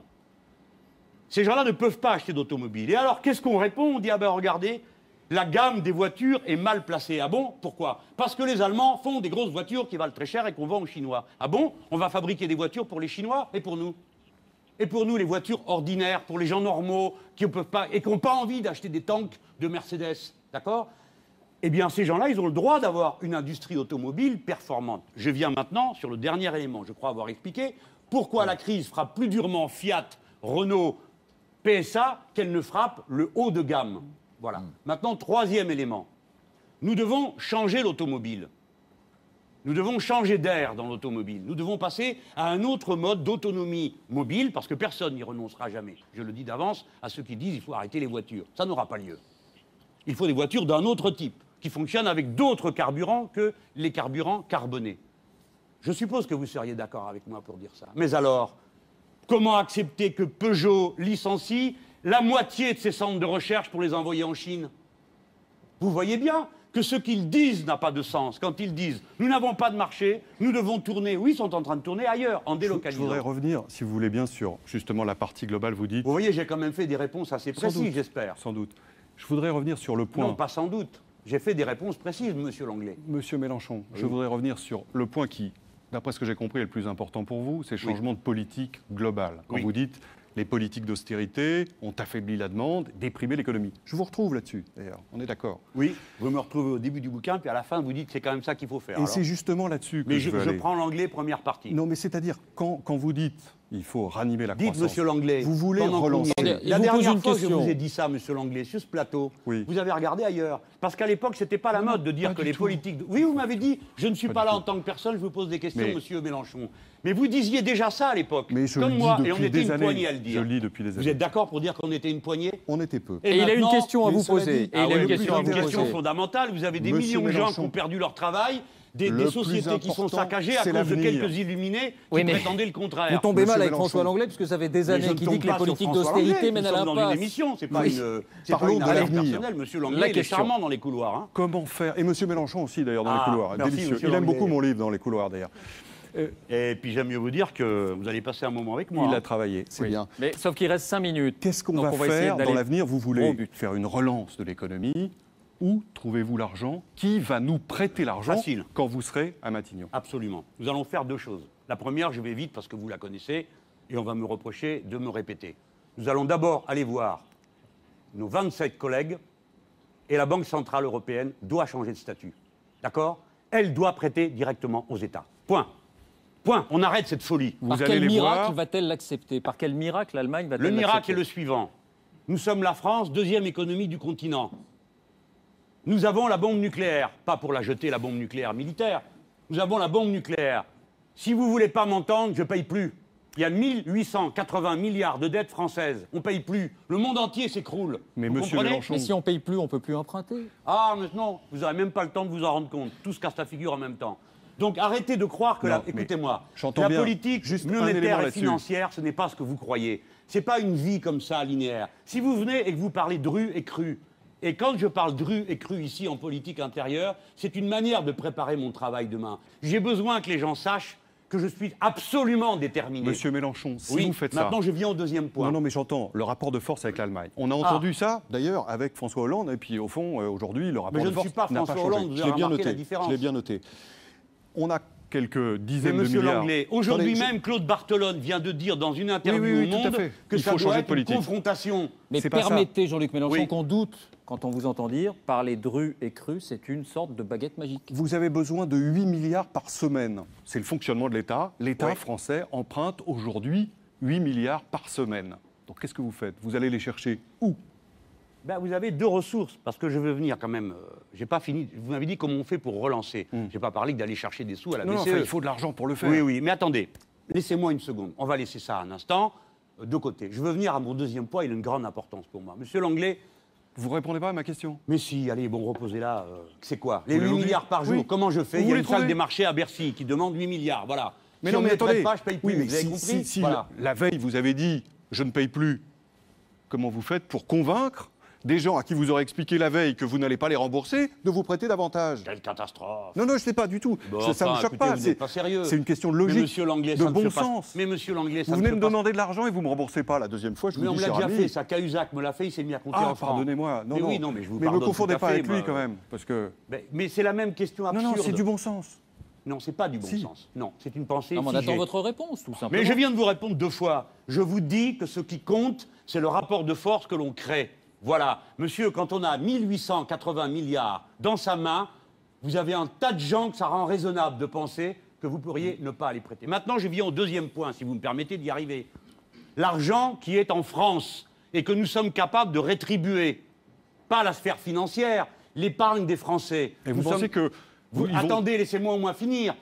Cette épargne-là, si nous la rétribuons à 2 ou à 2,5, ce qui est beaucoup par rapport aux emprunts d'État. Aujourd'hui, c'est Mais à beaucoup. 2, aujourd'hui, on est à 1, quelque C'est chose. beaucoup. C'est-à-dire, c'est un emprunt négatif. Non, mais si c'est l'épargne des Français, c'est une autre paire de manches. Avez-vous remarqué que les Japonais, dont la totalité de la dette, qui représente 200% de la richesse Du PIB, produite. même davantage, oui. Et ils n'ont pas de problème. Pourquoi? Parce qu'ils ont placé leur argent auprès de leurs Oui, propres mais ils sont citoyens. japonais, hein. Hein? Ils sont japonais. Si vous voulez. Ah ouais, d'accord. Non, oui. mais la structure Ouais, est pas du tout la même. ouais, ils sont japonais, les Ah, japonais, nous on est des français, on est français. C'est pas pareil du tout. Ok, monsieur l'anglais, il faut faire descendre la température là. Écoutez, soyez raisonnable, c'est pas un argument, ils sont japonais. Et nous on est français, bah, très Depuis bien. toujours, Monsieur Mélenchon, Oui. et vous le savez, j'espère, Oui, l'épargne nationale japonaise est utilisée pour financer Voilà. la dette. En Depuis France, quand, en France, ça ce n'est n'est plus le cas. cas Mais écoutez, ça fait une trentaine d'années. monsieur Voilà, et avant, qu'est-ce qu'ils faisaient les gens?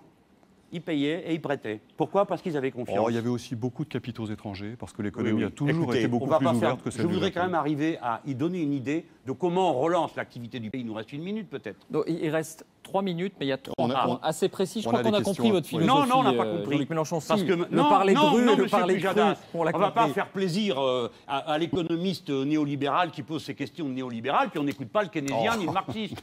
Comment on fait, Oui. Monsieur, monsieur Langlais, comment Oui. on fait pour relancer Vous, vous êtes dans une logique comptable. Ah, on va pas vous prêter d'argent, monsieur Mélenchon, si ça. C'est pas Mais de la comptabilité, c'est Mais bon c'est que vous ne comprenez rien. Est-ce que vous avez déjà réparé les radiateurs chez vous? Oh, mais fréquemment. Bon, donc vous savez que de temps à autre, on purge. C'est-à-dire que l'air sort et hop, ça se met à circuler. Si vous laissez trop d'air, ça circule d'ailleurs, plus. oui. Écoutez-moi. Eh bien, l'économie, c'est pareil. Si vous lancez à un endroit que vous avez choisi, ça se met à circuler partout. C'est-à-dire que les payes deviennent des achats, les achats de la production, la production des taxes et des payes et ainsi de suite. Où, monsieur Langlais, pouvons-nous, nous, Français, comme nous sommes, relancer? Vous avez deux méthodes. La méthode Hollande qui consiste à dire je vous donne 20 milliards, produisez n'importe quoi, n'importe comment, je m'en fous du moment qu'on le vend. Et il y a la deuxième méthode qui est de dire on ne peut plus faire ça. Maintenant, nous sommes au 21e siècle, on doit avoir le soin de notre planète. On doit donc avoir une relance écologiquement soutenable. J'ai fait une proposition, notamment à mon congrès, qui n'a pas mérité l'intérêt de vos collègues. J'ai parlé de l'économie de la mer, que je résume en quelques mots. La France est le deuxième territoire maritime du monde. L'humanité va s'étendre en mer. Donc l'aquaculture, la construction des bateaux, les hydroliennes que l'on installe dans les océans, l'exploitation du mouvement mécanique de la mer, tout ça, ce sont des qualifications, c'est de, l'usinage, c'est du travail, c'est de l'intelligence. Les jeunes gens et les jeunes filles que nous formerons pour préparer ces métiers. Bien. Ça, c'est une énorme quantité d'emplois. Une, une seconde de patience. Et je vous dis encore un mot. 50% de la population française vit à moins de 100 km d'une côte. La mer est l'avenir de l'humanité parce que nous avons occupé toutes les terres. Et que la prochaine expansion de l'humanité se fait en mer. Et si vous ne le savez pas, c'est déjà commencé. Bien. Donc la question qui se pose, va- non pas bien, est Mais de si, savoir si, on le fait d'une a- façon. Bah, écoutez, alors il y a qu'est-ce qui vous intéresse? Non, non, Les jeux de mots, je pense euh, qu'on a compris. balais, machin, Je pense qu'on a euh, compris. Hollande, Ça on fait est 20 au minutes qu'on on est sur le est allé au fond des sujet. choses. Non, on n'a pas eu le temps là. Il n'a pas sorti ses graphiques encore. Non, il y a justement. trois- trois minutes pour trois questions. le permet. Trois questions assez précises. Vous avez amené, il vous a amené deux, deux objets. Ah, Deux objets très simples au fond. c'est pas un euh, graphe, c'est la Une démonstration paire par de lunettes et puis un téléphone. Tout le monde les connaît, tout le monde a ça, ou quasiment. j'espère que ce sont des lunettes fabriquées dans le Jura que vous avez là. Écoutez, je ne sais pas, mais je vais m'en enquérir dès la fin de l'émission. Oui, parce qu'on produit de très bonnes lunettes dans le Jura. Mais de toute façon, je vais vous dire une chose, bientôt tout ça c'est fini, parce qu'on opère directement sur l'œil, comme vous le savez, c'est à On y au viendra. micro, on le règle. Vous entrez, vous ressortez, vous y voyez clair. Je vous pose ma question quand même.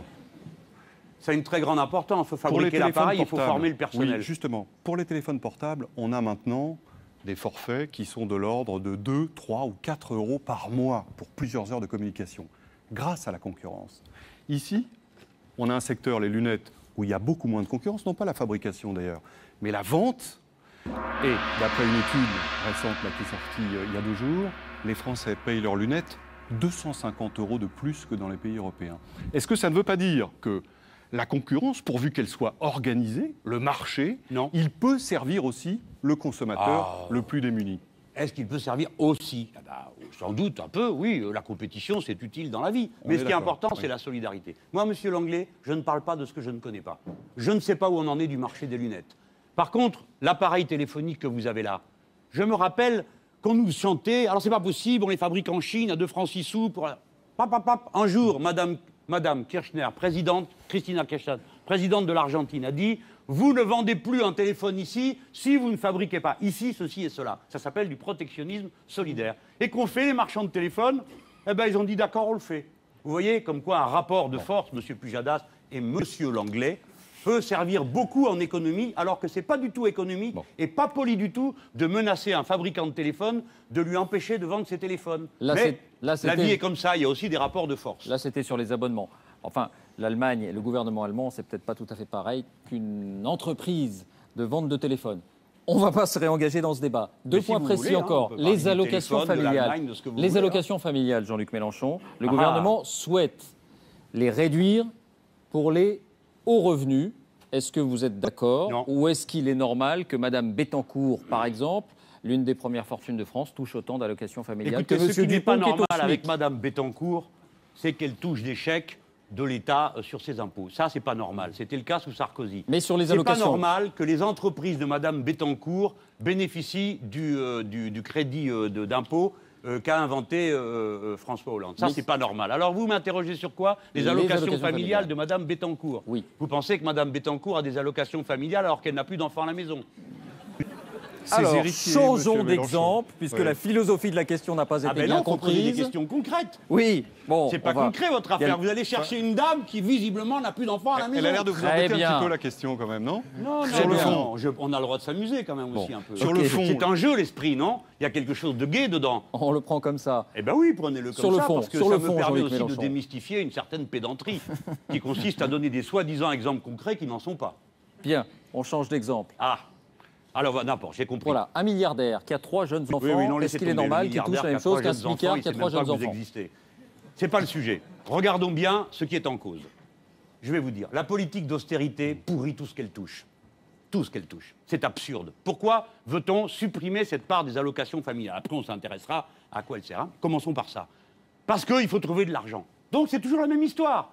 Alors vous êtes d'accord, on va prendre de l'argent ici, on va prendre ici, on va réduire ici, on va réduire là. Puis après on dira, ah mais monsieur Mélenchon, la dernière fois on a pris de l'argent aux riches, c'est normal maintenant qu'on en prenne aux autres. Mais la justice sociale, Monsieur Mélenchon, Monsieur, est-ce que ça n'est pas de différencier les aides de l'État en fonction du niveau de revenu qu'on a? Alors, d'abord, c'est pas l'État, euh, mais Enfin, bon, euh, la puissance le régime publique. de sécurité Oui. sociale. Non, mais soyons précis, Monsieur Langlais. Oui, enfin, oui, bon. ben moi je suis précis. Donc c'est pas l'État pour commencer. Deuxième élément, deuxième élément, il y a en effet des allocations sociales qui sont sous condition de ressources. Il y en a, par exemple, l'allocation de rentrée scolaire. Il y en a qui le sont, d'autres qui ne le Certaines sont du pas. logement aussi, d'ailleurs. Voilà. Moi, ce que je ne veux pas faire, c'est que la discussion sur la politique familiale se réduise à la question de savoir si on va supprimer un petit bout des allocations Vous êtes familiales. un peu gêné aux entournures Mais, quand mais même. ce non, mais enfin, euh, il y a une démonstration. Je ne parle pas à vous, je parle aux gens qui nous écoutent. Je demande, j'essaye de faire comprendre un raisonnement. Vous ne pouvez pas faire qu'une allocation qui était universelle cesse de l'être sans que ça pose un problème. L'universalité des droits, c'est l'objectif qu'on se donne. Voilà, monsieur. Pourquoi certaines allocations sont-elles sous condition de ressources? Parce que nous ne disposons pas des moyens d'en faire une allocation générale. Et Ah bah alors les moyens, euh, vous les utilisez pour les logements et puis vous et récusez voilà. cette explication. Monsieur Langlais, la question qu'on peut se poser, c'est comment se faisait-il qu'il y ait tant de gens stupides pour avoir supporté ça pendant tant d'années, dont vous, et ne jamais interroger le moindre homme politique sur le sujet Mais Monsieur Mélenchon, le sujet est apparu il y a déjà 20 ans puisque le gouvernement Jospin les avait mis. Et sous ça ne s'était pas fait, pourquoi? Mais si, ça s'est fait. Non. Ça s'est fait, Monsieur Pas Mélenchon. sur les allocations Mais familiales. si, ça s'est fait sur les familiales pendant un an. Mais si. D'accord. Alors Mais donc si. vous proposez pour combien d'années? Mais je ne le propose Mais pas. monsieur je Langlais, vous pose la question, mais est-ce que c'est juste non, ou pas non, Vous ne posez pas la Et question. vous qui êtes le faites une chantre de la justice Mais non, sociale, je vous ne suis dites, pas gêné ah. aux entournures, j'essaye de répondre autrement que dans la pensée l'anglais. D'accord Comment on finance Je vous trouve inhabituellement nuancé. Oui. Vous- Non, je m'en- réjouis, Eh mais bien, ça me fait plaisir de voir que vous reconnaissez mes talents de nuance. Écoutez-moi, monsieur Langlais, euh, la politique familiale est payée par quoi? Des cotisations patronales, vous le savez. Les gens ne le savent pas toujours. Des cotisations patronales. Bien. Comme il manque des sous, et qu'on ne va pas quand même aller demander au patron de les donner, donc on va réduire l'affaire. Voilà. Il manque un milliard et demi. C'est pas ça le bon, le bon raisonnement. C'est pas ça. Le bon raisonnement, c'est comment je relance l'activité. Parce que si je relance l'activité, si j'arrête la politique d'austérité, alors il y a plus de gens qui travaillent, donc il y a plus de cotisations, et vous n'avez pas besoin de ce milliard-là. Vous comprenez, monsieur Langlais? Et donc vous n'allez pas me faire, je commence, pas vous, hein, je commence par vous parler de ça, et puis demain ça, et puis après-demain ça, et puis on prend comme ça. Et puis la retraite, hein, quand même, hein, hein, vous ne trouvez pas, comme on vit plus longtemps, il faut euh, travailler plus longtemps, et toutes ces bêtises qui sont des, des- des- des théorèmes à la noix, parce que si on vit plus longtemps, c'est parce qu'on travaille moins longtemps, Vous et savez ainsi de suite. Tout ça, ce sont, c'est une manière de poser les questions qui contient la réponse. À Moi, je dis un droit justement. universel. Le jour où vous décidez de le faire cesser, vous devez expliquer à la société française pourquoi il y a des droits sociaux qui ne sont plus universels. Toute dernière Ce n'est pas chose. une petite question. Toute Toute dernière, chose, question, non, François. à la retraite, c'est- vous qui l'avez suggéré, Henri Emmanuel. Maintenant, si vous voulez leur prendre des sous pendant un an ou deux, Henri Emmanuel, qui n'est pas vraiment un homme de droite, hein, euh, disait il n'y a pas longtemps à propos de la retraite et de l'allongement de la durée de la vie, la biologie, c'est-à-dire l'allongement de la Non, durée il de la vie, n'a pas dit ça. fait qu'il faut quand même se poser la question de la durée de cotisation. Est-ce que vous êtes d'accord avec ça? Non, non, je ne crois pas qu'il l'ait dit, mais bah, attendez, Non, non. Mais il a déjà démenti à plusieurs reprises. Le malheureux, il est comme moi avec euh, la purification éthique. Là. Euh, un mec Ah oui. l'a dit une fois, alors c'est vrai tout le temps. Mais mettons, examinons l'idée. Allez-y. Est-ce que comme on vit plus longtemps, il faudrait travailler plus longtemps Réponse non. Je vais vous dire pourquoi. Premièrement, parce qu'il n'y a pas besoin. Aujourd'hui, le rapport entre inactif et actif, vous n'avez pas amené le graphe que vous Si, avez sorti pour justement. Madame euh, Le Pen il est là, on va le regarder tout de suite. Quelqu'un l'a encore Oui, oui, Bon. il va arriver, le voilà. Voilà, ah, le voilà. voyez, tout non, mais prêt. vous l'avez déjà sorti à Madame Le Pen. Trois cotisants pour un, pour un Voilà. retraité en 75 et aujourd'hui on est à 1,4, c'est-à-dire deux fois Et moins. voilà. Et ça, c'est rude, hein Bon. Alors, essayons de démystifier demandé, ce hein. D'abord, ce tableau lui-même, démystifions-le. Ce qui compte, c'est la quantité de richesse qui est produite et de gens qui sont au travail. C'est ça qui compte. La quantité de richesse produite, alors, depuis 1975, euh, je, je n'ai pas le, le chiffre à l'esprit. Depuis euh, les années 80, oui, je sais que la richesse du pays a doublé. La richesse du pays a doublé. oui. La population n'a pas doublé. D'accord? La productivité du travail est telle que entre les années 80 et maintenant, deux actifs produisent la richesse qu'en produisaient trois. Par conséquent, il ne faut pas en rester au nombre des personnes, les unes cotisant pour les autres. Mais quelle est la part de la richesse qui va globale, qui va passer d'un endroit à l'autre? Entre 1970 et l'an 2000, on a doublé la part de la richesse totale du pays qui est allée aux retraites. On l'a doublé. Vous vous êtes rendu compte de rien? Pourquoi? Parce que c'était le plein emploi.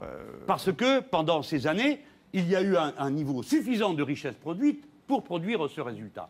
Continuons à dire que le déficit de la sécurité sociale est loin d'être celui de l'État par rapport à son budget total. Loin, très loin.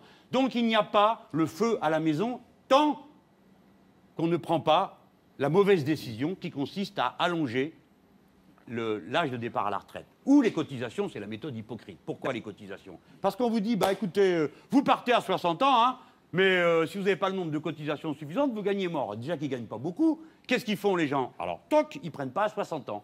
Et ils sont inscrits au chômage.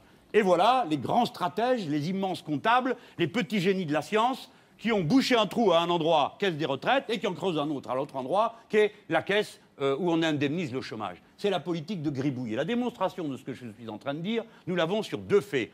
Premièrement, là où on a allongé l'âge de la retraite, eh bien, les gens ont une espérance de vie en bonne santé moins grande et une espérance de vie plus courte qui a diminué dans les catégories sociales les plus pauvres. Et deuxième élément qui prouve euh, euh, ce que je suis en train de dire, c'est qu'actuellement, dans l'explosion du chômage que vous avez, vous avez une progression plus grande des seniors dans le chômage qu'autrefois. Pourquoi? Parce que la plupart des gens avant 60 ans sont déjà au chômage. Parce qu'on les jette à partir de 55 ans, et des fois avant. Par conséquent, reporter l'âge de la retraite, c'est seulement augmenter le nombre de chômeurs. Et si on avait du plein emploi, eh bien, vous n'auriez pas besoin de reporter l'âge de la retraite. Vous comprenez? On revient toujours à la même question. Le point de départ, c'est l'emploi et le financement par l'emploi de tous les régimes sociaux. Merci, Tout le monde François. ça, même sans être un dieu du, Merci François. On on a dit tout va à l'heure prolonger des radiateurs. Merci. Monsieur Langlais, merci. la purge. Votre on livre va est bien, c'est dommage prolonger. que vous changiez d'avis en route. On va prolonger cette discussion euh, sur les thèmes économiques et pas seulement avec un premier duel de haute volée, on l'espère. Il va vous opposer Jean-Luc Mélenchon à Jacques Attali. C'est rude, hein? Merci François.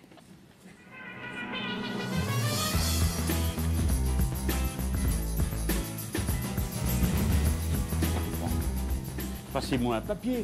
Bonsoir Jacques Attali. Bonsoir. Soyez le bienvenu. On va régler le chrono sur euh, 20 minutes avec une Alors, vous égalité venez manifester du, avec moi le 5 mai, monsieur Attali du temps de parole. C'est à vous, Jacques Attali, si vous le souhaitez, d'interpeller Jean-Luc Mélenchon. Mais quand vous m'avez invité, proposé de venir, j'ai accepté avec beaucoup de plaisir parce que j'ai beaucoup d'intérêt, et vraiment, je parle très franchement, pour votre pensée, pour votre action et pour la, la- la vision du monde que vous avez. Et donc, je voudrais qu'on ait un débat sérieux et serein sur vos idées. On en a déjà eu une fois. Si vous êtes sérieux et serein, ça ira. Voilà. Et, et ça m'a- ça m'avait beaucoup intéressé le débat que nous avions eu sur la Oui, dette. on a eu un débat tous les deux sur la assez dette, long. hein. sur la dette publique. Très Vous aviez d'ailleurs validé une de mes thèses. Absolument.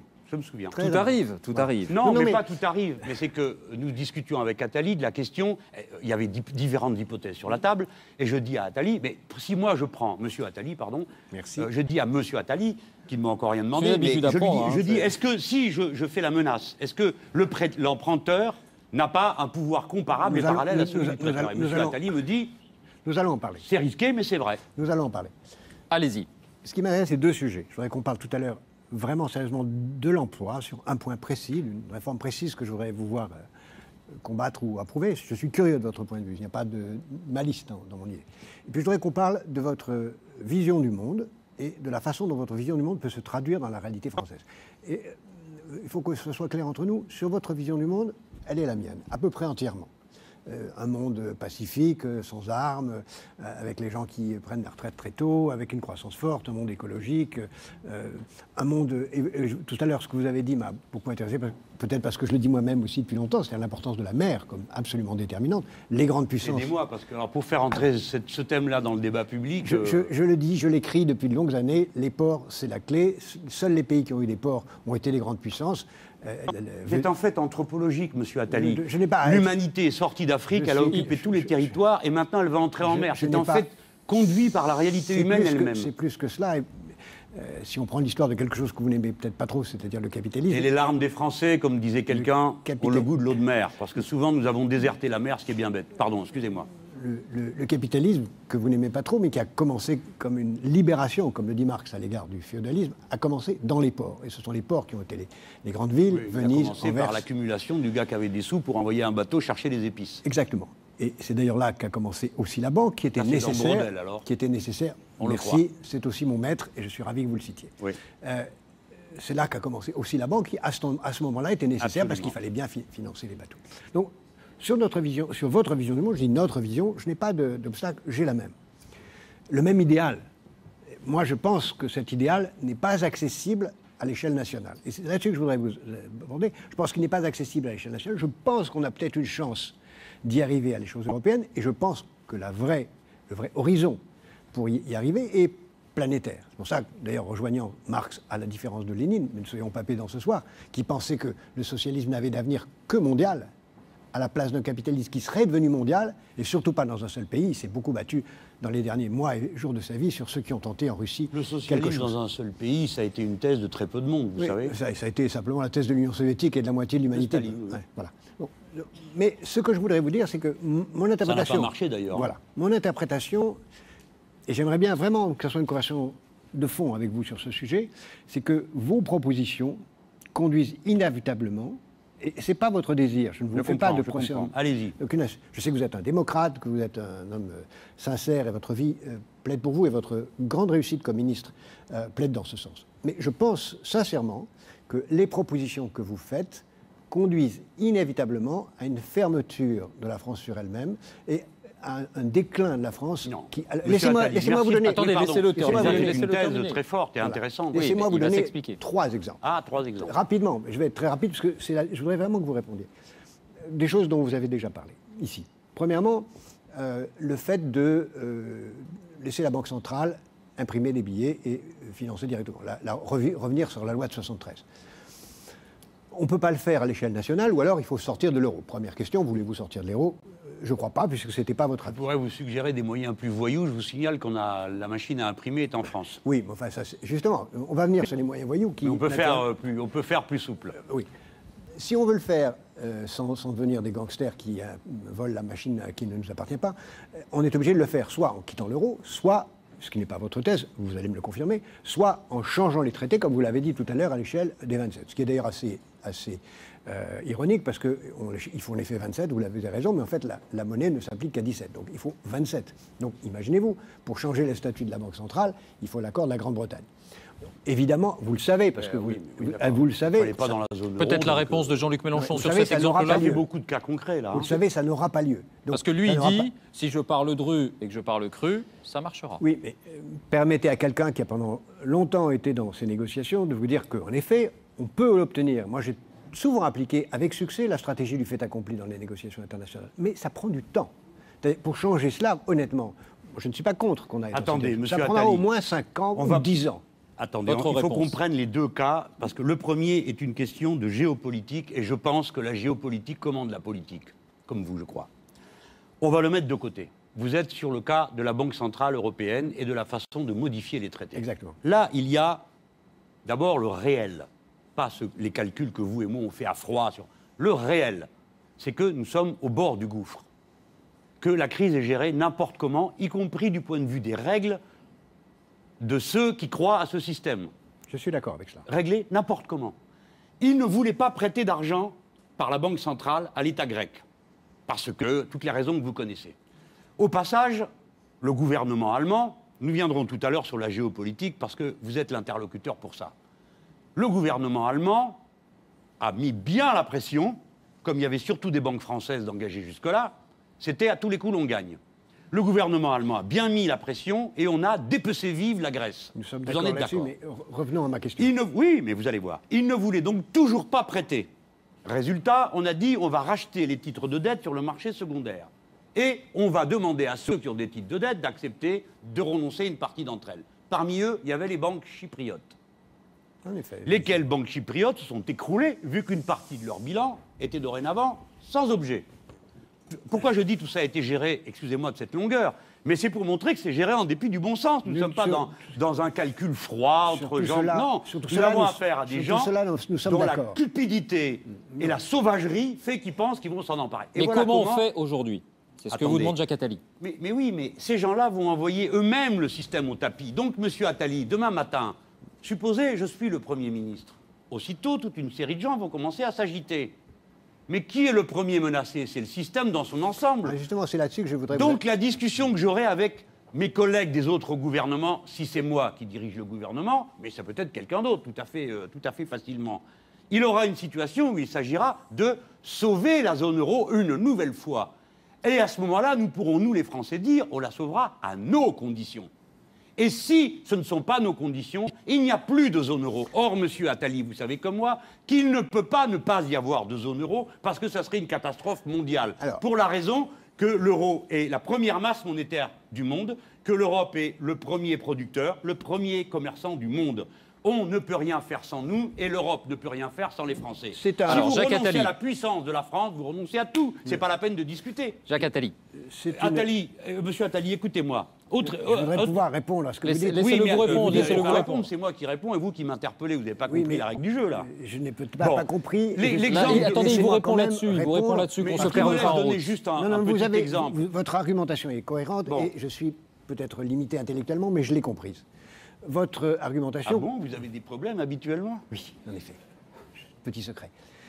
Euh, votre argumentation consiste à dire on peut s'arrêter de payer, vous l'avez dit à plusieurs reprises, on peut s'arrêter de payer et les gens terrorisés par cela vont venir à, à- Là, la, vous à la table un peu, hein. Peut-être, mais enfin, c'est un petit peu ce que vous avez dit. Si nous arrêtons de payer notre dette, J'ai pas dit ça. Hein. si nous menaçons d'arrêter de payer notre dette.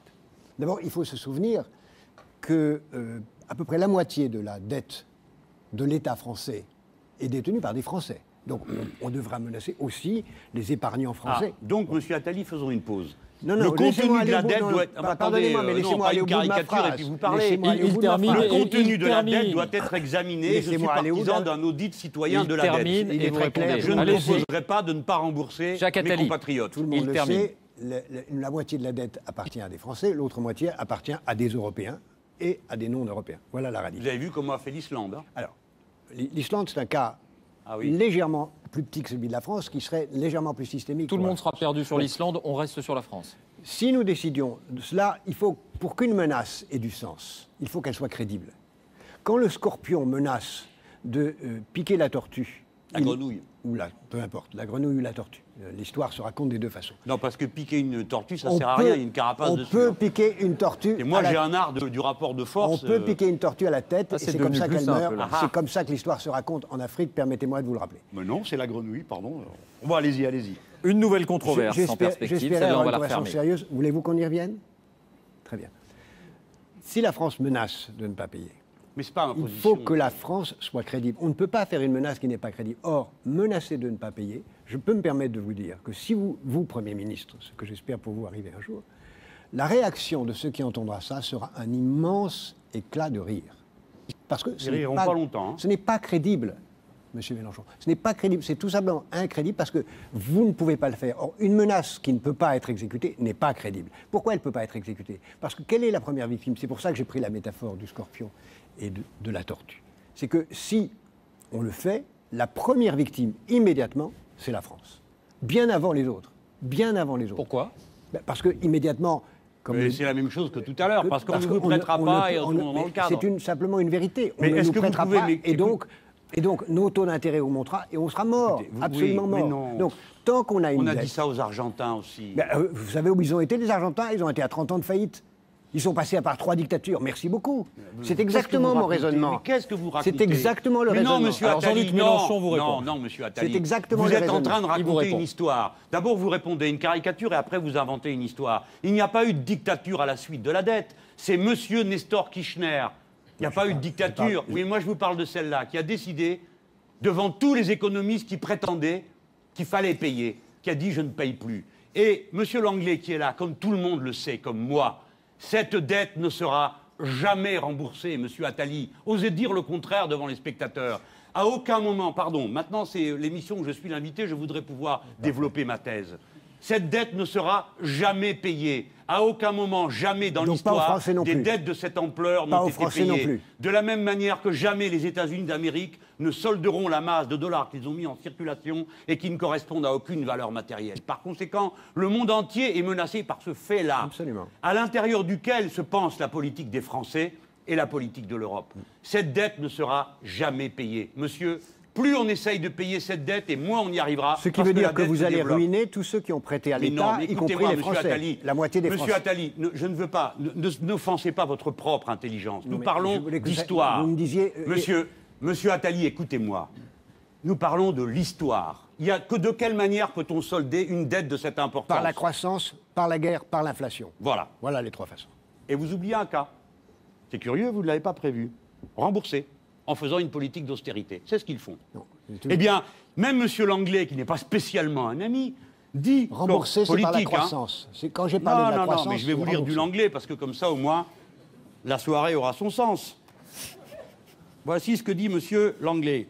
Bon sang de bois, tu paries que je la C'est votre pas. réponse que je voulais, monsieur. Il dit alors que ces dettes sont bien trop lourdes pour être jamais remboursées, c'est un gauchiste le- ce Langlais. Si la crise dure, c'est parce que nous refusons d'admettre cette évidence. Et vous, Jacques Attali, vous le savez comme moi. Il y a donc quatre manières d'en sortir. Une qui est la mauvaise, c'est celle qu'on applique. Qu'est-ce qui reste? La guerre. Ni vous ni moi ne la souhaitons. Qu'est-ce qui nous reste? L'inflation.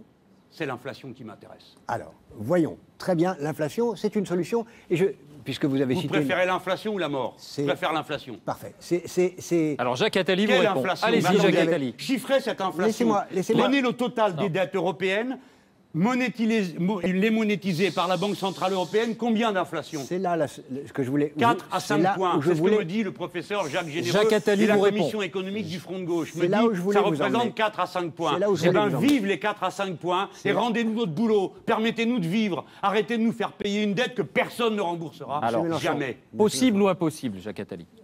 Vous avez cité M. Langlais, j'ai moi-même beaucoup écrit sur cette question, et je pense, et je J'ai l'ai écrit. j'ai tort Vous avez raison à l'échelle européenne, Voilà. pas à l'échelle nationale. Et vous êtes en charge du- d'un parti qui veut prendre le pouvoir en France. Et moi, je vous dis, si vous faites ça en France, vous condamnez la France à sortir de l'euro. Ça ne marchera pas. Si on veut, Parce bah, que vous ne croyez pas à la puissance ça Laissez-le répondre. Moi, je suis aussi favorable à un peu plus d'inflation. Mais il faut avoir- avoir conscience de ce que ça signifie. J'espère que tout le monde euh, qui nous écoute voit ça. Attali est en train d'expliquer plus l'anglais que j'ai pas tort sur tout.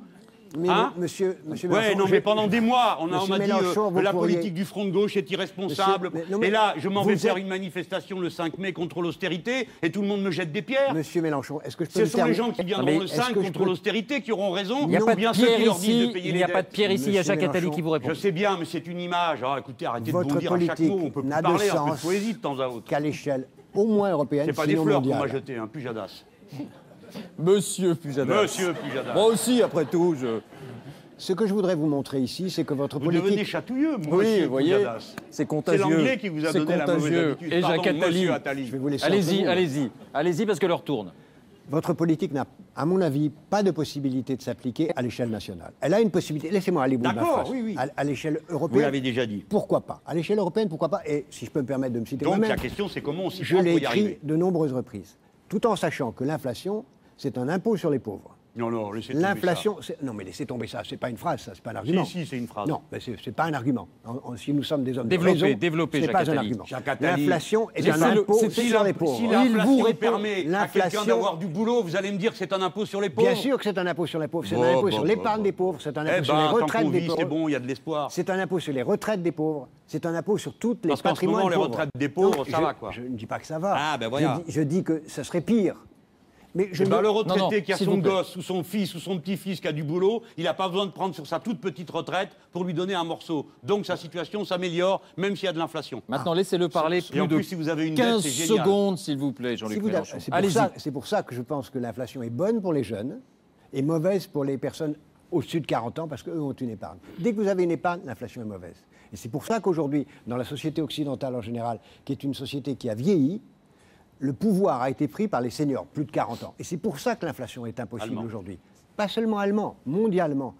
Et au Japon en particulier. Mondialement, le pouvoir a été pris. Depuis tout à l'heure, nous savons que les Japonais Attali. sont des Japonais. les alors, Japonais veuillez sont de situation particulière parce qu'ils sont isolés. C'est un monde totalement Jacques Attali, différent. impossible, mais souhaitable, d'après vous, cette politique de l'inflation? c'est une politique tout à fait Alors, euh, comment on possible. Et, alors, on J'ai compris, mais attendez, c'est pas vous à qui on pose la question, c'est à Non, moi. non, non, non, non, Vous, vous avez donné Ah, votre pardon. version. On Non, parle dru, fini, on parle cru. Monsieur Attali m'a donné raison sur la première partie, Non, il a je dit c'est jouable. J'ai dit c'est jouable seulement à l'échelle principe, européenne, sur oui, le pas à l'échelle nationale. Nous sommes Et je d'accord. pourrais décliner sur chacun des points de votre politique qui ne sont pas jouables à l'échelle Attendez, nationale. Monsieur Attali, je vous donne acte d'un point. Moi, je pense qu'il y a toujours de la réserve et qu'en particulier, écoutez bien ça, l'État-nation est un outil pour parvenir aux objectifs européens. Vous ne le croyez pas. Sur ce premier point, vous me dites, ce que vous dites, Monsieur Mélenchon, est jouable à échelle européenne. Bien. Comment fait-on à échelle européenne pour y parvenir? J'ai évoqué tout à l'heure un cas extrême, la menace absolue.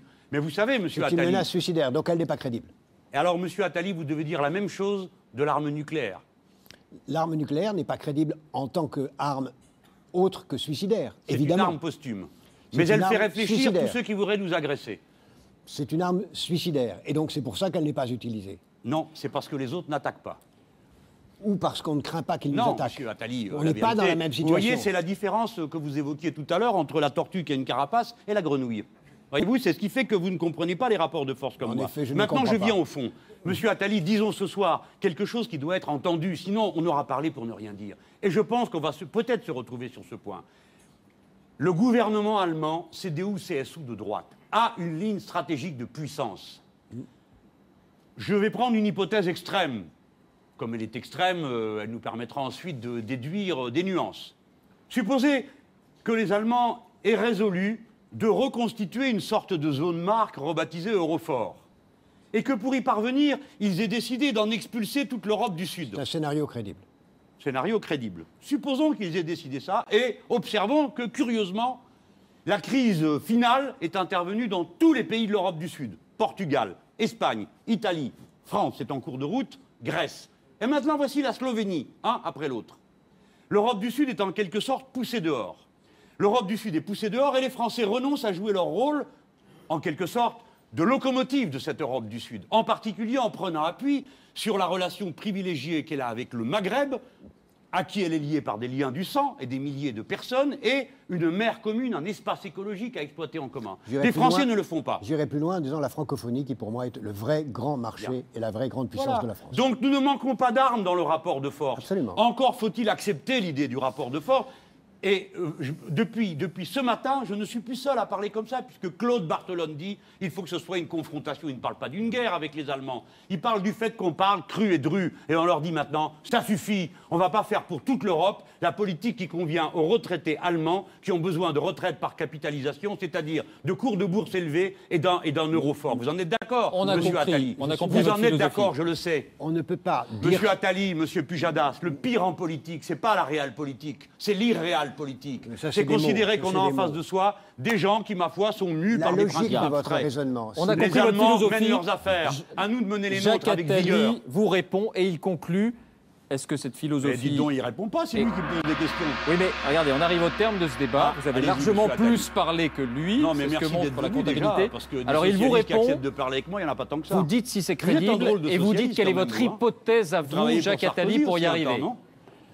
Pour moi, euh, c'est tout le raisonnement de M. Mélenchon sur tous les sujets, et je l'ai dit intéressant dans la finalité de long terme, Et l'engrenage, l'engrenage de la mise en œuvre de sa politique, c'est ou à un moment de basculer dans la social-démocratie traditionnelle parce qu'on ne peut pas faire autrement, ou un engrenage de fermeture des frontières. C'est pour ça que j'ai dit, bien sûr, ben évidemment. On ne suit pas les Allemands aujourd'hui Ben, Ils suivront les Français. Oui, mais ça, c'est des mots en l'air. Jacques Ah non, Attali, est-ce qu'on peut connaître votre méthode à vous, si vous en avez une, Oui. pour tenter d'y arriver? Puisque vous avez.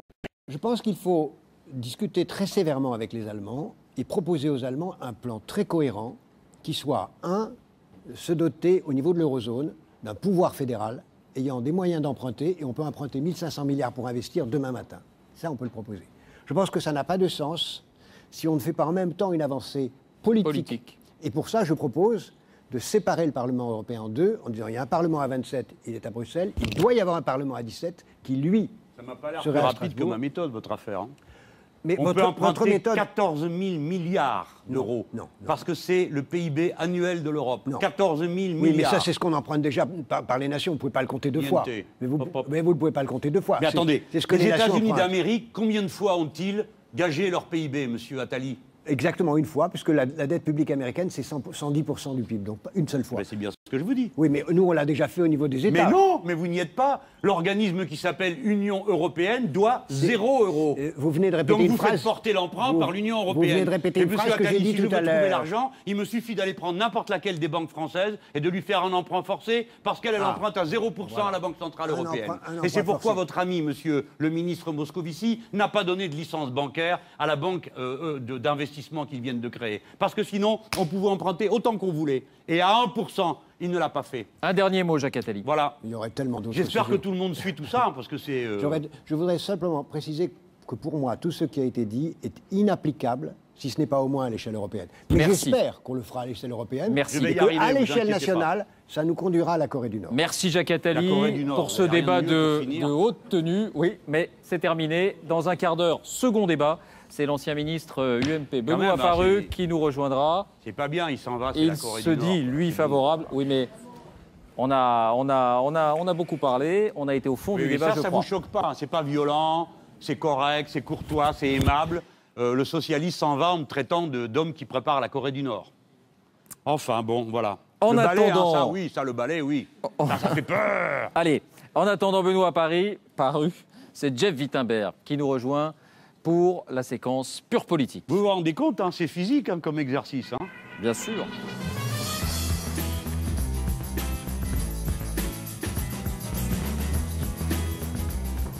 Alors, et vous, vous venez manifester Oui. avec nous le 5 Oui, d'accord. C'est la question rituelle. hein. Voilà. Bonsoir Jeff, vous avez Alors, 15 bonsoir, minutes. Cette fois, on va essayer de tenir le temps. compris que j'ai une manif le 5 mai, monsieur Pujada. J'avais cru c'était pas dans les sujets. entendre parler de ça. C'est à vous, Jeff. Vous avez Vous allez un quart d'heure. Allez-y. Alors en tout cas, bonsoir Monsieur Et on va Mélenchon. Bonsoir, monsieur. On va pas parler de la Corée du Nord, mais peut-être ma première question va, va vous fâcher, je ne sais pas, puisqu'elle porte sur un sujet qui vous a agacé lorsqu'on en a parlé jusqu'à présent, c'est les questions de patrimoine des hommes politiques. Vous avez dit, et alors là je vais vous citer il y a quelques jours, que cette histoire de patrimoine, de révéler le patrimoine des ministres et bientôt des parlementaires, c'était, je vous cite, une histoire de Jean Foutre. J'ai pas compris euh, pourquoi vous avez employé cette expression forte, même s'il faut parler de rue et cru. Pourquoi? Oui, oui. Non, mais bon, alors évidemment, je comprends que j'en foutre. hein. Non, non, mais alors, au-delà de la vous forme. le mot le fond? Non, la- la- Le le, fond, le voilà. fond. Pourquoi, pourquoi Voilà. pour vous, c'est une sorte que d'arnaque, en quelque Moi, je sorte fais de la, la pédagogie politique. Je, je- je dois faire penser, réfléchir, sursauter. Ma thèse est que le conflit crée la conscience. Parce que les indifférents, bon, ils sont toujours indifférents. Et puis les autres réfléchissent, disent, oh non, il a dit une bêtise. Puis là, ah, quand même, il n'a pas tort. Et hop, en voici un qui passe de mon côté, un deuxième, un troisième. C'est comme ça qu'on milite. Alors, sur cette affaire, bien sûr que c'est un procédé, j'en fous, c'est cool comme expression. Regardez. Il ne faut pas publier les patrimoines? Et voilà. Mais je vous pose la question. Puisque vous avez d'ailleurs publié le vôtre, Vous avez- finalement, Je- sur votre blog. Donc finalement, vous l'avez fait. Mais j'avais déjà fait avant. Oui, mais vous avez cédé aux injonctions, qui me entre plaît. guillemets, en le refaisant. C'est que je l'avais déjà fait. Monsieur Wittenberg. Monsieur Wittenberg. J'étais invité problème, chez monsieur Monsieur Pujadas, qui, à deux ou trois reprises, me dit Eh, votre patrimoine, mais vous avez tout à fait le droit de ne pas le déclarer. J'avais déjà fait depuis un an, je n'avais pas compris que c'était ça, pour ça qu'il m'avait invité. Et donc, moi, je pour de connaître votre position. De la politique, de tout ça. Et au bout d'un moment, comme il m'agaçait, je lui dis Mais on le publie, le vôtre, le patrimoine, parce que vous, vous y êtes à la télé toutes les semaines, donc on pourrait se dire Est-ce que cet homme-là est vraiment indépendant, ou bien il a un tel Le jour viendra peut-être on publiera le en patrimoine action, du coup, mais là, c'est question du capital, il n'a plus rien à dire. C'était une supposition. Alors j'en viens à ça. Je m'en fiche, monsieur Un énorme Wittenberg. paquet. Ça m'est complètement égal. Ce que je trouve hypocrite Ce que je trouve détestable, c'est que on m'accuse, moi, d'avoir dit tous pourris ce que je n'ai jamais dit, et c'est le président de la République et le Premier ministre qui déclarent que tous les élus sont suspects. Parce que M. Cahuzac, ayant fait quelque chose d'inadmissible, parce que c'est un menteur et un voyou, pardon si ça vous choque, un menteur et un voyou, eh bien alors tous les autres doivent déclarer leur patrimoine. Autrement dit, François Hollande et Jean-Marc Ayrault ont inventé la loi des suspects. Donc on publie le patrimoine, laissez-moi finir, des suspects, mais on ne publie pas le patrimoine des coupables. Car nous avons une Qui liste de les coupables 3000 personnes qui ont des comptes en banque dans les paradis fiscaux, et celle-là, on ne la publie ma pas. ma Qui est, pour la Et après, on enchaîne. votre 3000 mé- Français. Alors, quelle est donc Oui. votre solution, la solution de M. Mélenchon pour euh, lever la suspicion qui pèse aujourd'hui sur les hommes politiques, notamment suite à l'affaire Cahuzac? Quelle est votre solution dans ce cas? Ma solution, c'est ce que dit Madame Roumanoff. Allez-y. Voilà. C'est-à-dire? Le principe du mensonge, c'est que ça ne doit pas se voir. Donc je n'ai pas la naïveté de croire que quand je demande à quelqu'un de remplir des papiers, si c'est un menteur, il va marquer dessus. Je le dis pas. Vous dites ce qui ne marche pas, mais qu'est-ce qu'il faudrait Ça faire ne sert à rien. Donc c'est pas, c'est le système qu'il faut frapper, Monsieur Wittenberg. Il faut le frapper de deux manières. D'abord, dans l'immédiat, il faut frapper les paradis fiscaux. Le président de la République dit qu'il va publier la liste des filiales des banques dans les paradis fiscaux. Quelle rigolade N'importe quel bottin, c'est écrit dedans. C'est pas la liste des filiales qu'il faut publier, c'est la liste des gens qui s'y trouvent. Car il n'y a pas d'argent placé dans un paradis fiscal qui soit autre chose que de l'argent criminel parce que dans les paradis fiscaux, les fonds déposés par l'extorsion de fonds, par la triche fiscale, par la prostitution et par la drogue garantissent l'argent des gens qui viennent placer leur sous là pour pas payer d'impôts. Vous avez compris? Donc on commence par frapper à l'endroit où on doit frapper. Ça, c'est la première chose. Mais la deuxième chose, c'est qu'il faut détruire le système qui permet, d'un côté par des institutions qui concentrent toute la responsabilité au sommet et répandent l'irresponsabilité partout ailleurs, d'un autre côté qu'il y a l'argent roi et que des gens circulent entre les deux et que tout le monde trouve ça normal. C'est ce système qu'il faut casser, c'est-à-dire la Ve République et son irresponsabilité et d'autre part le règne de l'argent roi. Quant aux élus, si vous voulez les contrôler, il faut les contrôler politiquement, c'est-à-dire qu'il faut introduire dans la Constitution la possibilité de référendum révocatoire, c'est-à-dire que les gens peuvent, s'ils sont une liste d'un certain nombre, dire Monsieur Machin, Monsieur Truc, j'ai plus confiance, je demande qu'on vote pour savoir s'il est maintenu dans sa responsabilité. Vous voyez qu'il y a des solutions. Ce que nous voyons là est une comédie. Alors, Bien, vous sitôt que vous dites qu'une comédie, ah, il a quelque chose à cacher. J'ai publié non seulement mon patrimoine, mais ma taille, de, chemise, ma taille de chemise. Mais tout ça est grotesque. Mais pourquoi vous l'avez fait alors? Pourquoi je l'ai fait? Oui Je vais vous le dire. Vous qui avez une volonté d'acier, vous avez semblé finalement céder au Parce mainstream. que, oui, c'est ça. Parce que vous m'avez invité sur un plateau de télévision et vous m'avez posé trois fois la question, Monsieur Pujadas. Oui, mais et qu'il aura suffi que vous... Écoutez-moi, oui, oui. Ne faites pas l'hypocrite, Monsieur Ah non, non, non, non, non, non, non, Ça non, vous non, là-dessus, avez l'air non. sympathique Non, non, là-dessus, non. Mais finalement, vous ne l'êtes pas. Non, non, là-dessus, non. Oui. Je ne vous ai pas incité à le faire, je ne suis personne pour le Vous faire. Vous avez repassé la bande. de- Oui, mais attendez, Monsieur Pujadas, ne faites pas l'innocent. Aussitôt, les, les bandes d'extrême droite qui, depuis maintenant trois ans, publient continuellement sur Internet le fait que, soi-disant, je gagnerais 37 000 euros, que je posséderais je ne sais Mais pas quoi, ne pas- ont aussitôt Monsieur commencé Mélenchon, à dire pourquoi ne- il ne veut pas publier son patrimoine. Et votre collègue du journal Le Monde, votre collègue du grand journalissime de révérence, n'est-ce pas, a écrit il s'en est tiré par une pirouette. C'était donc un guet-apens Mais Il pourquoi s'en ne est tiré dit par une simplement pirouette Mais bon, en publiant Monsieur son Mélenchon, patrimoine. pourquoi avoir parlé de vos mensurations Pourquoi avoir tourné cette procédure au ridicule et ne pas avoir tout simplement fait comme les ministres en donnant l'état de votre patrimoine ministre, parce que la loi n'a pas été votée, et j'ai donc raconté mon patrimoine, et je me suis moqué de ceux qui ont inventé ça. Je ne suis pas quelqu'un qu'on fait sauter à la corde, et comme moi, des millions de Français savent que tout ça est une pitrerie.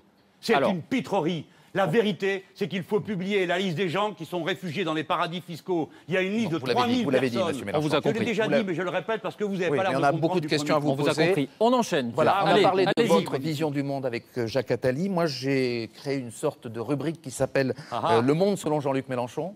Hein, on va voir un, un Vous savez que c'est planisphère. un, le titre Le Monde selon Garp. C'était Oui, pas mal. sais, de John. Irving. Mais là, c'est le monde selon Jean-Luc Mélenchon. On a choisi des selon endroits. vous qui interprète Jean-Luc Non, non, Mélenchon. non, ben, il faut bien trouver un Ah, titre. voyons, en tout voyons. cas, on Selon va choisir Mélenchon. des points chauds euh, de la planète, pas forcément. Exact.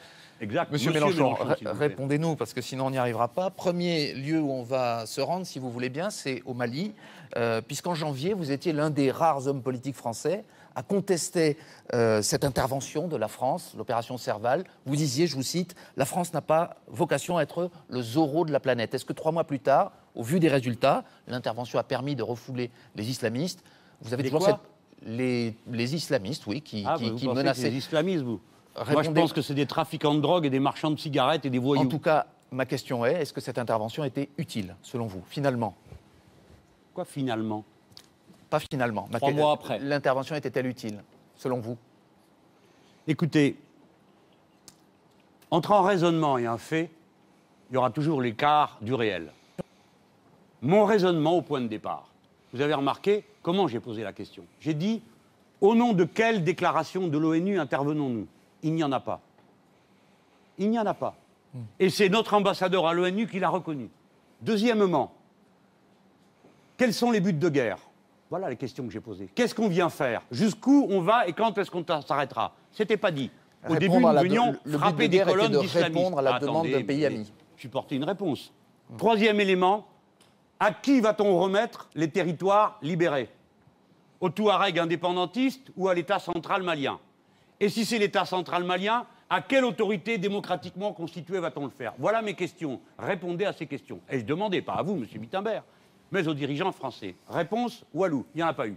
Très bien. Il y a, nous sommes là et nous avons tapé 400, parce que maintenant je viens aux détails techniques que je connais très bien. Donc vous vous êtes abstenu. Les députés du Front de gauche se sont encore abstenus il y a quelques jours. Absolument, pour prolonger l'opération, nous sommes mais abstenus. vous ne répondez pas sur, finalement. Est-ce que vous la pensez qu'on aurait Attendez, possible nous, nous sommes des hommes politiques responsables, des élus du peuple. Nous attendons qu'on réponde à nos questions. Si vous, ça ne vous dérange pas de penser que la France intervient sans mandat international, sans but de guerre connu et sans système d'alliance, vous, ça ne vous dérange pas. Moi, si, ça me dérange. Parce que maintenant, nous sommes tout seuls. On cherche à savoir, Jean-Luc Mélenchon. D'après vous, bien, on- mais- n'aurait pas dû intervenir. Mais ça, c'est votre façon à Non, vous, je- mais- Mais c'est la question qu'on vous pose. Tout le monde a envie de savoir si vous pensez qu'on aurait dû ou pas intervenir. Je dois mal m'exprimer, je- j'en suis désespéré. Parce qu'on attend Je- une réponse je de votre part, euh, J'essaye de vous faire comprendre quelque chose et vous revenez tout le temps, Mais vous nous expliquez comme des le moulins à la même question. Monsieur Mélenchon, vous nous Je expliquez le recommence. contexte de vos, Monsieur de vos réserves il y a trois mois. Pujadas, connaître votre réponse Quand vous êtes un élu politique, la question n'est pas de savoir ce que je pense, c'est qu'est-ce qui est bon pour le pays. Est-ce que vous trouvez normal que la France intervienne? Vous m'avez interrogé d'abord sur l'expression les oraux. Est-ce que vous trouvez normal que la France intervienne sans mandat international? Au nom de quoi décidons-nous que nous intervenons dans un pays ou dans un autre? Ça n'a pas de sens pour vous? Ça n'a pas d'importance. Alors chacun fait ce qu'il veut. Nous sommes français, nous sommes armés, nous intervenons. Maintenant, je vais vous dire pourquoi je suis très, je trouve cette affaire très suspecte. Je n'en conteste pas la réalisation technique. Les armées ont fait un travail parfait. Mais c'est pas de ça dont on parle. Moi, je ne suis pas là pour commenter les exploits de nos militaires. Je suis un responsable politique. Et donc, j'ai le droit de poser la question suivante. Pourquoi me raconte-t-on qu'on a été pris par surprise et que si on n'intervenait pas en 48 heures sans avoir consulté le Parlement, les islamistes, parce qu'on les a repeints comme ça, euh, Bah, vont, Acmi, prendre... Acmi, ce sont pas des Attendez, vont prendre la capitale L'inverse n'est pas prouvé en tout cas et ils ne l'ont pas pris. Écoutez-moi, monsieur Wittenberg. Donc. Seuls des naïfs peuvent croire que nous avons été pris par surprise. Parce que nous disposons des moyens de surveillance. Et figurez-vous que 400 pick-up qui se mettent en colonne avec de l'essence pour faire 1800 km ne s'assemblent pas par surprise. Et que le fait qu'ils aient décidé de le faire, qui est stupide militairement, ne, ne s'est pas non plus produit par surprise. Quant à l'armée française qui est intervenue, elle ne pouvait pas intervenir avec 1000 hommes par surprise. Tout ça a été préparé de longue main. Ben, je crois qu'on a compris votre position. Vous avez compris La Donc, Chine. Je n'aime pas sauter à la corde et qu'on me dise alors vous êtes pour, vous êtes Bon. pour, hein Naturellement, il Pour faut ou libérer. contre? Non, pour ou contre, déjà pour ou fait. contre. Pas Pour vous. ou contre. Mais on Bon. me l'a déjà fait. Pour l'Irak, il y avait des armes de destruction massive. Bien. À chaque fois, il y a des grands arguments. Et à chaque fois, il y a une Les politique. téléspectateurs se feront leur idée à travers Voilà. votre réponse. oui, ils ont compris votre position. Absolument. Allez, Jeff, on va changer de pays, on va en Chine où se trouve Pourtant, je François suis Hollande. content hein, que les gens soient tranquilles maintenant parce que ça va mieux. Très bien. Alors on va en Chine, puisque vous savez que François Hollande y est en Oui. Visite depuis quelques heures. Il y passe d'ailleurs 37 heures. Est-ce que euh, ça vous choque qu'il n'y passe que 37 heures, comme le disent certains? Ou au contraire, peut-être ce qui vous interpelle, c'est que la question des droits de l'homme ne soit abordée que dans des conversations privées, euh, qu'il n'ait pas rencontré de dissidents, par exemple Quel regard vous portez sur cette visite? Est-ce qu'il faut parler euh, des droits de l'homme en Chine? Discuter la avec les Chinois est vital. Oui. Comme je l'ai dit, écrit de mille manières, j'ai été repeint en ami du gouvernement chinois, ce qui n'est pas mon cas. Je n'ai jamais eu de lien particulier avec le Parti communiste chinois, moi, au contraire de l'UMP qui a un accord. Vous savez que l'UMP a un accord d'amitié, de coopération avec le Parti communiste chinois. Donc moi, non. Le PG n'a pas ça et le Front de gauche, personne n'a ça. Donc, euh, discuter avec les Chinois est vital. Et les droits de l'homme Répondez à cette question, s'il vous plaît. oui, les droits de l'homme, oui, oui, oui. Oui, oui, mais bien sûr, oui, oui, les droits de l'homme, les droits de l'homme. Répétons-le deux ou trois fois si vous voulez. Voilà. Non, une seule. Les droits de l'homme. Il faut en parler. Les droits de l'homme. Allez, Jean-Luc droits de Mélenchon, l'homme. ah, on les vous droits de écoute, l'homme. on vous écoute. Les droits de l'homme. On vous écoute. Les droits de l'homme. Oui, on vous écoute. Vous, le tournez, suffit. vous le tournez en Arrêtez avec ça. Arrêtez avec ça. Arrêtez avec ça. Nous parlons de choses sérieuses. Les droits de l'homme sont dans les choses sérieuses. Mais l'organisation de nos rapports avec la Chine, 1,4 milliard millions d'habitants, qui est une puissance qui va être la première du monde, mécaniquement, ils n'en ont pas envie. Ça leur fait peur d'être en cette situation parce qu'ils ne savent pas s'ils sont prêts à l'assumer. Parce qu'ils savent que le jour où ils deviendront les premiers, la masse de dollars qui est en circulation dans le monde risque de s'écrouler et ils en ont eux-mêmes des paquets chez eux. Donc ils ont proposé qu'il y ait une monnaie commune de référence. Voilà les sujets sérieux qu'il faut discuter. De la même manière, le protectionnisme solidaire, ça veut dire discuter avec les Chinois, produit par produit, ce qui sort de chez eux et qui rentre C'est plus nous. important que l'indépendance du Tibet, par exemple. Pardon? C'est plus important que les revendications des Tibétains euh, qui. euh, De quel Tibétain vous parlez? des Tibétains qui vivent De au ceux que vous Tibet. connaissez, vous Non, de, De ceux, ceux dont peu une centaine se sont est-ce- Alors, immolés, la question de l'indépendance du Tibet va être réglée ou- par ces deux messieurs d'un revers de main parmi Non, les droits non, de l'homme. Alors, vous n'y connaissez rien, Non, il y a- pardon. de vous- Il y a une centaine d'immolations Oui. Ça Euh, existe. D'immolation. par le feu. Oui. C'est-à-dire que quelqu'un a donné la consigne qu'on s'immole par le feu. En France, il n'y a pas de consigne. Là-bas, il y a des consignes. Écoutez-moi. Il y a une revendication, vous ne l'ignorez pas, vous ne pouvez pas traiter cette, revendication d'un revers de main. Je vous pose la question, est-ce qu'il faut parler de cette revers question main. non? Je voudrais pouvoir m'exprimer sur le sujet. La République française, en 1965, a reconnu la Chine en tant qu'État souverain dans ses frontières actuelles.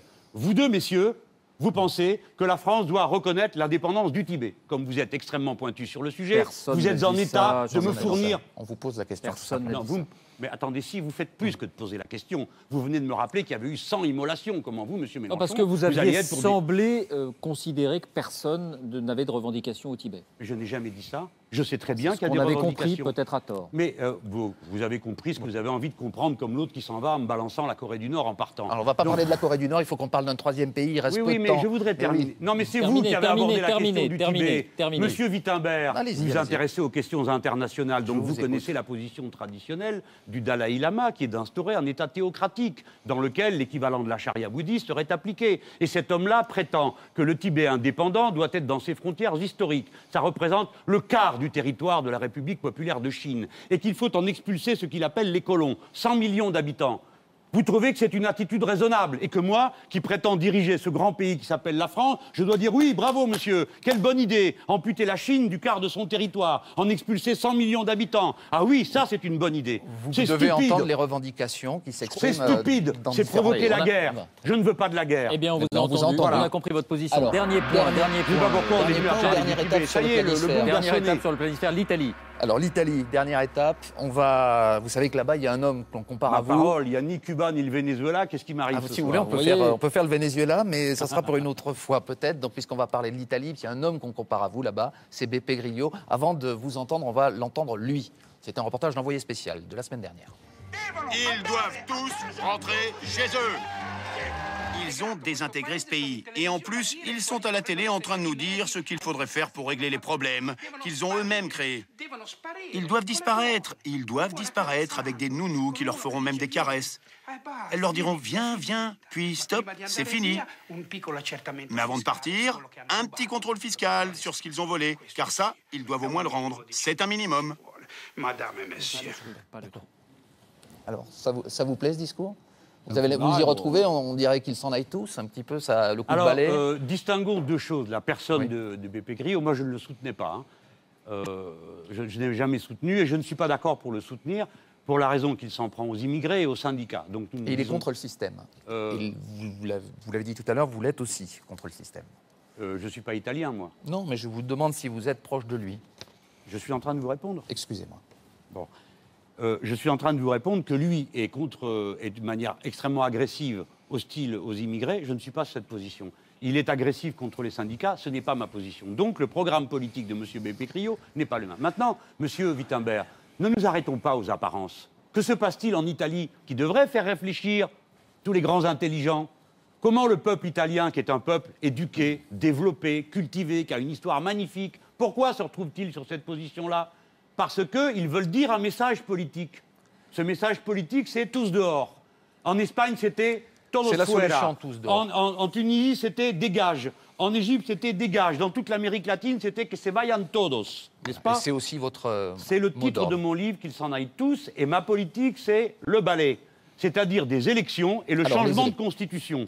Je suis pour un changement de constitution pour passer à une sixième république. Et ce sera une assemblée élue, une assemblée constituante avec des gens qui ne peuvent pas venir d'une autre assemblée et qui ne peuvent pas être élus à une autre assemblée, qui doivent fabriquer cette nouvelle institution républicaine. Voilà ce que je souhaite, en effet. Mais ça ne fait pas de moi quelqu'un qui se trouve du même côté que M. Griot, car nous n'avons pas la même vision du développement de clair. nos patries respectives. Merci pour clair. cette réponse. Deux dernières questions. Deux dernières questions. Puisque vous des avez parlé des élections euh, nationales, j'imagine, on va plus prosaïquement parler des prochaines, les municipales, vous allez être Et alliés. des européennes, c'est Et deux des européennes, après. mais on va parler quand même des municipales. Vos Oui, alliés, ce sont aussi. Euh, les élus du Parti communiste, vous en avez parlé tout à l'heure. Euh, on les a interrogés hier à l'Assemblée nationale, au micro de Florence Bouquet. On va voir qu'ils ont un avis finalement assez mitigé sur votre personne. Écoutez-les, trois députés. Ah, ça c'est sympa qu'il ne enquête. pas en collectif, il réagit toujours à l'individuel et que c'est pas c'est pas comme ça qu'on fait la politique. Je suis désolé, la politique ça se, ça se fait avec les contributions de tout le monde. Euh, il décide tout seul de la manif. Aujourd'hui, Jean-Luc Mélenchon euh, a peut-être des petits fantasmes quand il se dit euh, je vais être Premier ministre. Ce qui me semble juste aujourd'hui, c'est pas de balayer les forces politiques. Ce qui me semble juste aujourd'hui, c'est de rassembler, c'est de construire. Comment vous expliquez cette, euh, c'est- ce sentiment On, on a l'impression qu'il attendez. trouve que vous jouez un petit peu trop perso, Oui, pour oui. le dire vite. Non, mais attendez, c'est- la grosse manip, votre affaire. Pas du tout. On en a mais vous avez- quatre, vous on en a gardé pu- trois, parce Pourquoi que vous n'avez pas interrogé Marie-Georges Buffet? Pourquoi vous n'avez pas interrogé Pierre Laurent? Ah, ils n'étaient pas là c'est la vérité. En tout oui, cas, que répondez-vous Vous à ces avez gens-là été chercher des gens qui ont Non, non, déjà on a- exprimé. On n'a pas été les chercher. Le front de gauche, c'est pas l'armée. hein. Chacun pense et fait ce qu'il veut dans sa tête. Et après, nous avons des décisions collectives. Donc arrêtez ce numéro. Il n'y a aucune décision personnelle. Toutes les décisions sont collectives. Et dans ce pays, il n'y a pas une autre réunion que la nôtre, celle du Front de gauche, avec neuf partis dedans, et bientôt dix, n'est-ce pas? Où nous discutons toutes les semaines. Vous croyez qu'on prend des décisions tout seul? Jamais. Jamais. Les décisions sont toutes collectives. Donc ils ont tort. Donc ils ont tort. vous voulez à tout prix. euh, hein, Non, il faut, que, vous demande. faut que ça saigne, hein, Non, sinon non, ça va pas. c'est pas- ils ont écoutez-moi maintenant. Maintenant, nous allons considérer vous- les trois vous avez une personnes. attitude parfois Ce qu'a dit André. Chassaigne, je suis complètement d'accord avec lui. Il ne s'agit pas de balayer les partis. Je suis d'accord avec lui. Il ne s'agit pas de faire autre chose que de rassembler. Le 5 mai, on va voir s'il y a une gauche dans ce pays. Et cette gauche, elle va être dans la rue. C'est pas la droite qui a gagné, c'est pas le Medef qui a gagné. Je suis d'accord avec Chassaigne. Nous allons rassembler. Et je vais vous dire mieux. Je suis dans une situation maintenant avec le Front de gauche où c'est à nous de représenter tous ceux qui ont voté à gauche au premier tour de l'élection présidentielle, même ceux qui n'ont pas voté pour nous, parce qu'ils n'ont pas voté pour ça. Monsieur Mélenchon, à Voilà. ce sujet, vous Alors, dites à qu'aujourd'hui, monsieur- à propos de la gauche, euh, excusez-moi, vous dites qu'aujourd'hui qu'il y a une course de vitesse entre vous et le Front National. Vous l'avez dit dans une interview euh, à la presse régionale. Pour reprendre un petit peu les, les- les fables euh, qu'on évoquait tout à l'heure, là on a l'impression, aujourd'hui, excusez-moi, que Mme Le Pen est plutôt très loin devant, s'il y a une course de vitesse. Est-ce que vous espérez être la tortue, là, cette fois-ci, pour le coup, euh, qui, arrive à la dire- fin et qui va gagner? D'abord, monsieur Quelle est la réalité? comprenons ce que les mots veulent dire. Je ne suis pas en compétition avec euh, Madame Le Pen pour faire pire qu'elle. Comprenons-nous bien.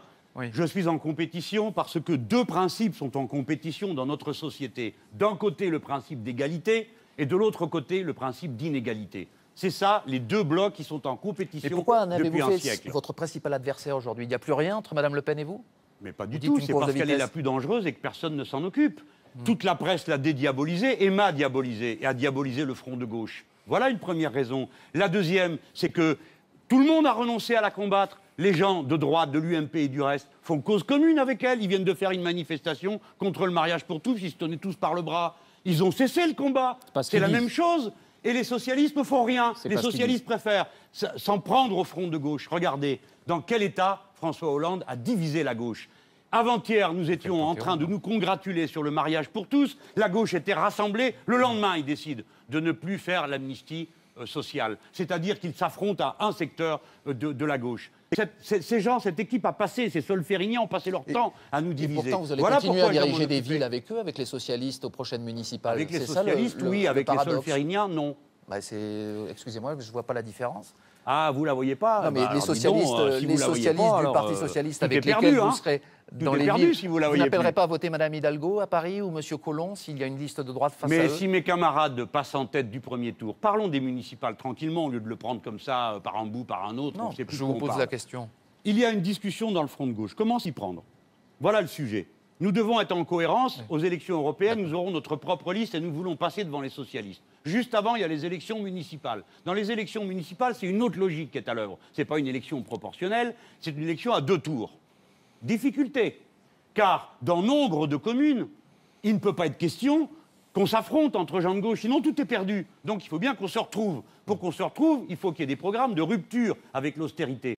Comment vont faire les socialistes localement pour approuver nationalement l'austérité et la désapprouver localement? C'est ce que nous allons voir. Donc la question, elle est dans leur rang. Deuxièmement, les communes que dirigent des maires front de gauche. On ne va pas chasser les socialistes qui sont avec nous en disant écoutez, vous faites une bonne politique avec nous, mais comme vos chefs ne nous conviennent pas, dehors. Non, on va les garder avec nous. Après, il reste donc toute une série de cas où les camarades vont évaluer ce qu'il faut faire. Et dans les grandes villes, la proposition de mon parti, le parti de gauche, mais ce n'est pas la résolution du Front de gauche, qui n'a pas encore pris sa décision stratégique sur le sujet dans tous ses détails.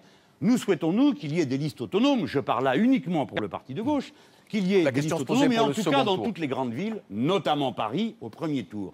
Mais c'est aussi le cas de Marseille, mais c'est aussi le cas de Toulouse, et ainsi de suite des capitales régionales. Cette discussion est ouverte. Nous avons fait connaître notre proposition, et maintenant on va parler. Que voulez-vous? Ça me semble, la difficulté, elle n'est pas On peut pour encore nous. faire l'union de la gauche, c'est en résumé. Voilà. Au Ben, ça au dépend local. sur quel programme. Mais, pourquoi vous vous résumez rien, vous embrouillez tout? Je viens de passer cinq minutes à expliquer quelque chose et vous, vous prenez la touillette et vous ramenez à la, à la case départ. Non, ce n'est pas l'union de la gauche, monsieur Jacques ça n'est pas l'union de la gauche. C'est l'union sur un programme de rupture avec l'austérité, avec la finance, monsieur Jeff Wittenberg. Et d'ailleurs, le 5 mai, nous allons manifester contre ça. Vous l'avez noté tout de même. Oui, oui, ça, on Eh bien, c'est de ça dont nous parlons. La difficulté, elle n'est pas pour nous, Monsieur Wittenberg. La difficulté, elle est pour l'élu socialiste local qui vient de se faire diminuer sa dotation globale de fonctionnement, qui vient de se faire diminuer sa dotation d'investissement et qui doit dire oui, oui, je suis content, diminuez encore. Ou bien il dit non, je ne suis pas content. T'es pas content, t'es avec nous. Merci Voilà. Jeff. Merci, Un- monsieur Mélenchon. Un coup d'œil Voilà, à nos examinateurs. Hélène Jouan, Paolo Lévy, Guillaume Roquette. Ils sont attentifs. Ils n'ont pas perdu une miette.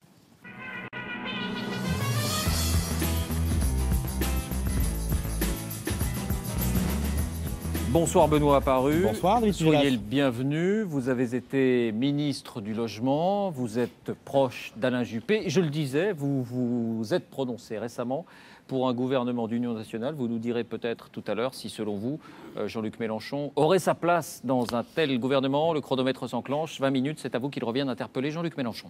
Bonsoir, monsieur le futur Premier ministre, si j'ai bien compris euh, la Bonsoir, thèse du monsieur soir. Apparu. Ça fait dix mois que le chômage augmente de euh, 1000 personnes par jour. François Hollande nous avait dit exactement l'inverse pendant la campagne électorale. Pendant cette même campagne électorale, François Hollande avait dit Je ne taxerai que les riches et pas les classes moyennes. Et c'est les classes moyennes que l'on taxe aujourd'hui, encore une promesse non tenue. Il y a dix mois, au moment de la campagne présidentielle, on nous avait dit Le pouvoir d'achat augmentera. Pour la première fois depuis 30 ans, il baisse. Là Oui, encore, une promesse élu, hein. non tenue Oui. de François Hollande. C'est vrai que ce n'est pas vous qui avez été élu. Simplement, si mes souvenirs sont bons, vous avez appelé à voter François Hollande au second tour. Je me souviens même qu'à l'occasion de ce second tour, vous nous avez dit je vais créer un rapport de force, la thèse de la soirée. Et ils seront obligés, parce que j'aurais voté pour eux et parce que j'aurais fait élire François Hollande, ils seront obligés de faire ce que nous demandons, nous, au Front de gauche. Le résultat, me semble-t-il, n'est pas à l'ordre du jour.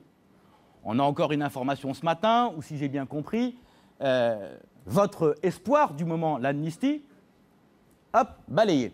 La question que je me pose en vous écoutant ce soir, c'est à quoi vous servez dans le paysage politique français? Vous n'avez pas aujourd'hui d'influence sur ce qui se passe? Qu'est-ce que vous me suggérez de ben, Je ne sais pas, ça, ça vous de nous le dire. une balle dans la tête, preuve du contraire, c'est euh, vous qui voulez être Premier ministre. Oui, oui. Donc c'est à vous de nous dire à quoi vous servez. Bon, d'abord, euh, je commence d'abord par vous féliciter. Bah oui, vous avez voté le mariage pour tous avec nous. Ça, c'est bien. Ça prouve que vous avez du caractère, parce que je sais ce que c'est que d'être un parlementaire isolé dans son groupe quand tous les autres ne sont pas d'accord. Et vous, vous avez deux mérites. Oula. Un, vous avez Là, je commence à m'inquiéter, là. Oui, vous avez raison. vous pouvez. Un premier mérite, vous avez voté avec nous. Deuxième mérite, c'est que je ne savais pas que vous étiez proche de Juppé, je croyais que c'était Fillon. Non. Bon. Vous avez mal relu vos fiches. Bah ouais. Il y aura des sanctions. Mais je veux quand même poser ce point, puisque vous et moi, on aura fait le même choix dans cette circonstance, et pas à n'importe quel moment dans la vie du pays. Je voudrais rappeler qu'en 1981, M. Fillon, puisque je parlais de lui à l'instant, et quelques autres, ont voté contre la dépénalisation du crime d'homosexualité. Parce que jusqu'en 1981, c'était un délit en France, l'homosexualité. Et il y a eu des hommes de droite pour voter contre. Et il y a eu des hommes de gauche pour voter, des, des hommes de droite pour voter avec nous.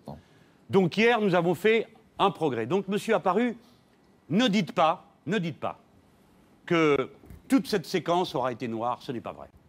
Au moins, au moins, laissez-moi profiter de cette soirée-là, du vote de l'Assemblée nationale, pour dire au moins on aura fait ça. Alors, si vous voulez bien, revenez deux secondes à mon interpellation. Oui, Ce sera bien. beaucoup plus simple. La question est très simple, ou l'interpellation plutôt est très simple, parce que je ne suis pas là pour vous questionner, mais pour débattre avec vous. Aujourd'hui, dans le paysage politique français, à quoi vous servez Moi, je suis dans l'opposition. Jusqu'à preuve du contraire, c'est pas moi qui ai fait élire François Hollande, c'est Oui. vous. Alors j'y viens. Et c'est vous qui nous avez dit Oui. au moment du Non, premier tour de l'élection présidentielle voir. qu'effectivement vous allez créer le rapport de force parce que vous étiez vous, Jean-Luc Mélenchon, avec la puissance de vos 11%, que vous alliez effectivement créer le rapport de force pour qu'il vous écoute, Ne soyez pas. qu'il vous entende. Oui, oui, monsieur. Je veux donc Jean- vous écouter j'ai- bien compris, vous avez déjà posé deux fois Alors la question. allez-y. Mais comme vous n'y répondez pas, je vous y ramène. Oui, mais il faut, il faut dans la vie, il faut se donner des petits moments de respiration Ah, joyeuse. d'accord. Et là, je pouvais avoir un moment de respiration joyeuse avec vous. C'est parce fait. que vous votez avec nous. Vous avez respiré, maintenant. Eh bien voilà. Exprimez-vous. Alors, monsieur Apparu, ça m'ennuie de vous faire ce cours-là. Mais nous vivons dans une démocratie. Et il est normal en démocratie qu'on exprime des points de vue. Mon point de vue n'est pas celui de François Hollande. D'ailleurs, vous aurez noté que j'étais candidat. À être Premier dire- ministre. Attendez, j'ai d'abord été candidat à l'élection présidentielle. Et à cette élection présidentielle, 4 millions de voix se sont portées sur le front de gauche. François Hollande a été élu avec un million de voix d'avance. Ce qui, soit dit par parenthèse, souligne que j'avais raison de dire que M. Sarkozy n'était pas, comme le disaient certains, battu d'avance, et il l'a fait sur une orientation politique extrêmement tranchée. Bien. François Hollande étant élu avec un million de voix d'avance, et nous ayant appelé à voter pour lui au deuxième tour, avec 4 millions de voix dans la balance, on pouvait penser, monsieur Apparu, qu'en politique normale, un chef d'État fait une politique qui correspond, en gros, au mandat qu'il a reçu. Le deuxième tour, sans nous, il n'est pas élu. J'avais donc toutes les raisons de penser que, sans me donner raison, bien sûr, ni au front de gauche, nous n'avions pas gagné cette élection présidentielle. Mais elle ne pouvait pas être gagnée sans nous. J'avais toutes les raisons de penser qu'il ferait des gestes, il, prendrait en compte ce que nous exprimons politiquement. J'entends bien, mais vous venez nous faire exactement la même démonstration par rapport à l'Allemagne, à la finance mondiale. En gros, c'était le rapport de force que je créerai, moi, à Matignon, me permettra de tout faire évoluer. Ben, vous avez déjà tenté, si j'ai bien compris, il y a un an de le faire avec François Hollande, ça n'a pas marché, il ne vous écoute pas. Preuve en est là encore avec l'amnistie, il ne vous écoute pas. Donc, je ne comprends pas très bien votre raisonnement économique du Mais soir. si, vous bien Et c'est pour ça que je voulais faire le lien entre les deux. Ben, monsieur c'est que votre raisonnement économique du soir, qui tient exclusivement sur une chose, le rapport de force que vous voulez créer, ne tient pas la route. Jacques Attali l'a évoqué il y a un instant, on va y revenir dans 2-3 minutes si vous le voulez bien, mais ça ne tient pas la route pour cette raison-là. Alors, non, vous vous trompez. Euh, D'abord parce que la, partie n'est pas finie. Euh, il y a un an que François Hollande euh, dirige le pays. Ce n'est pas une affaire politicienne qu'il faut considérer. Ce qu'il faut considérer, c'est le rapport du pays et, à son peuple. Aucun d'entre nous, Monsieur Apparu, n'imaginait que le président de la République n'avait pas compris, comme il en a fait l'aveu, que la crise était si profonde et qu'elle durait autant de temps. Ça, on l'a suffisamment expliqué pour ce qui nous concerne pendant la campagne. Moi, j'ai expliqué Mais vous ne dans nous la avez pas campagne- écouté en la matière, malheureusement. Moi, j'ai expliqué dans la campagne que cet homme allait prélever 50 milliards, il en a prélevé 60 sur euh, l'économie française, et que ça nous amènera à une politique d'austérité. Et ce qui se produit depuis, monsieur Apparu, cette politique, en gros, représente deux fois pire que les plans d'austérité de M. Fillon. M. Fillon a fait deux plans d'austérité pour 17 milliards et est arrivé derrière Jean-Marc Ayrault qui a fait euh, deux fois ou trois fois cette somme, puisque nous arrivons à euh, 60 milliards. Comme c'est la même chose, lui pouvait penser que finalement le cycle allait s'interrompre et que l'économie allait redémarrer. C'est son raisonnement politique. L'échec est patent. Mais cet échec, monsieur Apparu. Mais c'est le vôtre aussi, vous en êtes co-responsable. Attendez. C'est ça que vous devez assumer, monsieur Mélenchon. Non, monsieur Apparu, laissez-moi vous expliquer pourquoi non. Cette politique, c'est la vôtre et celle de François Hollande. Elle arrive à une catastrophe. Un an après, le chômage explose et ainsi de suite. Si ça avait été monsieur Sarkozy, c'eût été de même. Non. Et je vais vous démontrer pourquoi dans Attendez, quelques c'est un article de foi. Par conséquent, C'est ce que vous nous faites depuis le début de la soirée, donc de grâce. Mais non, mais je suis, ce genre je de suis dans l'opposition à la politique du gouvernement sur sa gauche. Il reste une gauche dans ce pays, monsieur Apparu. Vous n'avez pas gagné et vous ne ferez pas un gouvernement d'union nationale avec monsieur Copé à sa tête, comme vous l'avez déjà proposé. Non, ça n'aura pas lieu. Il y a une gauche dans ce pays et vous allez la voir le 5 mai. Vous allez comprendre votre douleur. Mais je viens sur ce que je suis en train de dire. Mon raisonnement normal, monsieur Apparu, vous êtes un démocrate comme moi et un républicain. Je vous reconnais complètement cette qualité, cette double qualité. Normalement, le chef de l'État, constatant l'impasse de sa politique, devrait dire je change la place du curseur. Et c'est ce qu'il va faire, parce que nous savons que les jours du gouvernement de M. Jean-Marc Ayrault sont comptés. Et on a bien compris Et que donc- vous alliez le remplacer. Simplement. Mais attendez, non, monsieur Apparu, laissez-moi finir. Le chef de l'État doit choisir. Ou bien il persiste dans l'erreur, c'est-à-dire l'austérité et la soumission au MEDEF, ou bien il se dit je vais rétablir l'équilibre je Revenons change. donc deux secondes, si vous le voulez Mais bien, sur l'erreur que vous notez en question. Pourquoi Pardon Vous, vous considérez que François Hollande et Jean-Marc Ayrault en font trop? Moi, je considère qu'ils n'en font pas assez. Non pas dans l'austérité, mais Ah, dans les voilà politiques de relance par, non pas l'offre comme vous le demandez, mais par la demande. Pourquoi je dis ça? Pour une raison très Non, simple. attends, c'est vous qui êtes pour la politique de l'offre et moi Si, pour la politique de la demande. Pourquoi je dis ça? Pour une raison très simple, monsieur Il Mélenchon. faut alléger le coût du travail, on la connaît. Oui, là, mais on va la refaire. Ah on là va la refaire pourquoi? Pour une raison très simple. Qu'est-ce que vous allez leur prendre savez, aux gens? Je vais pas vous faire le coup de la il, vous, pose une question là-dessus. Pourquoi je vous Comme dis ça? c'est original. Oui, c'est très original. Simplement, là encore, si vous pouviez juste écouter de temps en temps les autres, ça vous ferait un plus grand bien. Rassurez-vous, sincèrement, ça fait du bien de temps en, En temps hein. d'écouter la parole de l'autre. Ce stylo, le problème de la France, c'est quoi? C'est quand on le fabrique en France, il coûte deux fois plus cher à fabriquer qu'en Allemagne. Et trois fois plus cher ou quatre fois plus cher qu'en Chine. Tant que nous ne comprenons pas qu'en réduisant le coût du travail, nous permettrons de redonner effectivement la capacité productive à la France, à redonner une industrie à la France, nous n'avons rien Comme compris. c'est original. Et deux, c'est- mais je ne cherche pas à être original. Je cherche à être Ça marche juste. pas votre affaire, ça n'a marché nulle part juste. dans le monde. Mais jusqu'à preuve du contraire, ça a marché en Allemagne, Non. ça a marché aux États-Unis et ça continue à marcher aux États-Unis et ça marche dans tous les pays du monde, sauf effectivement pour ceux qui ne l'appliquent pas, à savoir les pays d'Europe du Sud, auxquels, si j'ai bien compris, vous voulez vous rallier. Nous, nous proposons, nous préconisons effectivement une baisse très massive du coût du travail. Nous préconisons un allègement du contrat de travail et la fusion probablement du CDD et du CDI pour effectivement donner beaucoup plus de souplesse aux employeurs. C'est ça qui nous différencie, monsieur Hollande. Monsieur Hollande. Oui, oui. Pardonnez-moi. Hollande, hein. Monsieur Mélenchon, non, mais j'ai rêvé à un moment que vous étiez président de la République, comme ça, ça m'a. Hop là, je me suis dit, Ça tiens, me pourquoi va, pas. je veux bien le faire. Je vais simplement dire la chose suivante, c'est que oui, effectivement, nous considérons qu'actuellement, M. Hollande fait fausse route. Mais nous considérons également que vous nous emmèneriez encore pire qu'ailleurs. Pourquoi?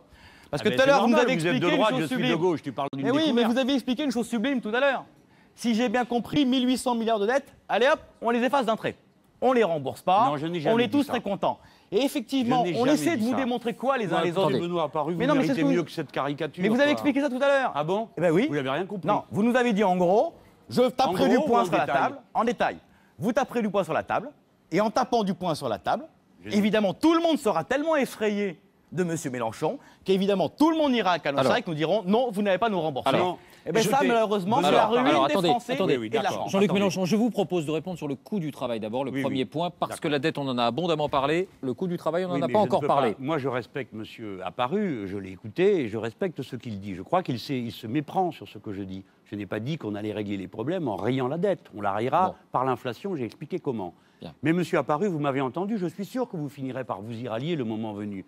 J'ai expliqué comment on relancera l'économie française en organisant l'économie de la mer, comme autrefois, sous l'impulsion de gouvernements qui n'étaient pas les nôtres, forcément. hein. On a lancé la France sur l'espace, on a 50% du marché mondial. C'est une décision d'État. Comme on l'a lancé, comme ça, dans différents. Nous savons le faire, nous les Français. Donc ne dites pas que toute ma politique consiste à dire on raye la dette. Maintenant, je viens sur la question du coût du travail. Nous avons, en effet, une lourde et grave divergence. Je demande qu'il n'y a aucune ambiguïté sur le sujet, monsieur Apparu. Vous pensez que c'est en allégeant le coût du travail que l'on avancera. Je pense, moi, que c'est en allégeant le coût du capital. Nous ne sommes pas d'accord. Les Français trancheront. On n'a pas besoin de se détester pour se dire ça. Et on n'a pas besoin de se caricaturer. Je ne dis pas que vous êtes un négrier, même si je le pense. Parce que vous voulez faire travailler les gens. Qu'est-ce que vous voulez leur prendre de plus, monsieur Apparu? Un peu d'intelligence dans les débats, ça fait du bien de temps en temps, vous savez. Oui, mais moi, je suis, euh, si je comprends, je ne suis pas intelligent. Ah non, vous êtes que dans la caricature.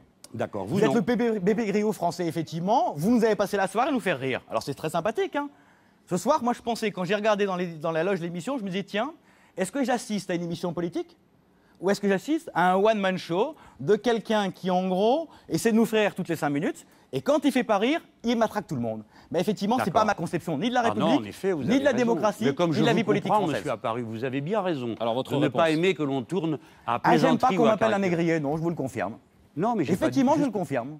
Je n'aime pas ça. Et vous alors, avez dit que vous le vous ra- pensiez. du coup, vous eh ben, j'aime pas ça. du coup, mais je ne vous ai pas traité de négrier. Ah bon, je vous avez dis- fait quoi, alors Mais mais écoutez ma phrase. On s'en revenait un peu à ça, Jean-Luc Mélenchon, honnêtement. Bon, alors deux contre un, c'est bon, je jette les boules. Ok, Non, mais- vous êtes un négrier. Vous dites, je ne Et le du dis coup, pas, même ça si vous donne le le droit de dire que j'ai passé la soirée à dire des choses sans conséquence et que vous ne voulez Ah, pas c'est clair, oui. Maintenant, nous allons parler, mais vous n'avez pas besoin de me mépriser pour me Ah, Mais je combattre. vous méprise absolument pas. c'est à vous, ne Jean-Luc méprisez Mélenchon. pas. Je viens de poser une thèse. Allez-y. Je dis ce n'est pas la baisse du coût du travail qui est le problème dans notre pays, c'est le coût du capital.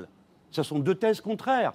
Vous êtes pour la politique de l'offre, je l'ai compris, c'est-à-dire en abaissant le coût du travail, François Hollande dit comme vous, en faisant des primes à la qu'il le fait compétitivité. pas, c'est ça le problème. Il donne, mais il- c'est ça, en tout cas c'est sa thèse. Il dit je donne 20 milliards aux entreprises, produisez ce que vous voulez, comme vous voulez, je m'en fiche. du Pourquoi est-ce que ça ne marcherait pas? Ça ne marche pas. Et là, nous avons une différence. On va faire le tour du monde avec M. Apparu. Mais parce que ça n'a marché nulle part pour la raison que j'ai expliquée tout à l'heure. Il dit en, C'est-à-dire Al- en Allemagne, ça a marché. Vrai ou pas? En Allemagne, ça n'a marché qu'au détriment de tout le reste de l'Europe, Monsieur Pujadas. Abordons-nous la question de la politique allemande, ou bien commençons-nous par répondre sur pourquoi le coût du, tra- le coût du travail. Restons sur le coût du travail si vous le voulez bien. Ben, m'engueulez pas en plus. Mais je vous engueule pas. Bon, là, vous me dites ça sur un ton, là, bon, bref. Alors, vous dites c'est le coût du travail. Je dis non. Quand les travailleurs sont correctement payés, ils dépensent leur paye, surtout dans les petites payes, et les payent jusqu'au salaire médian et même au-delà. Parce que le salaire médian, c'est 1600 euros. À 1600 euros et même au-delà jusqu'à 2000, on dépense tout et on garde très peu à la caisse d'épargne. Par conséquent, tout ça, ça donne de l'activité. L'activité, ça donne des taxes et des impôts, et donc les caisses de l'État se remplissent, donc il peut à nouveau investir. Vous nous avez expliqué ce raisonnement particulier qui ne marche pas. Bon, mais si. marche. Malheureusement, on a essayé à plusieurs reprises, ça ne marche pas. Non.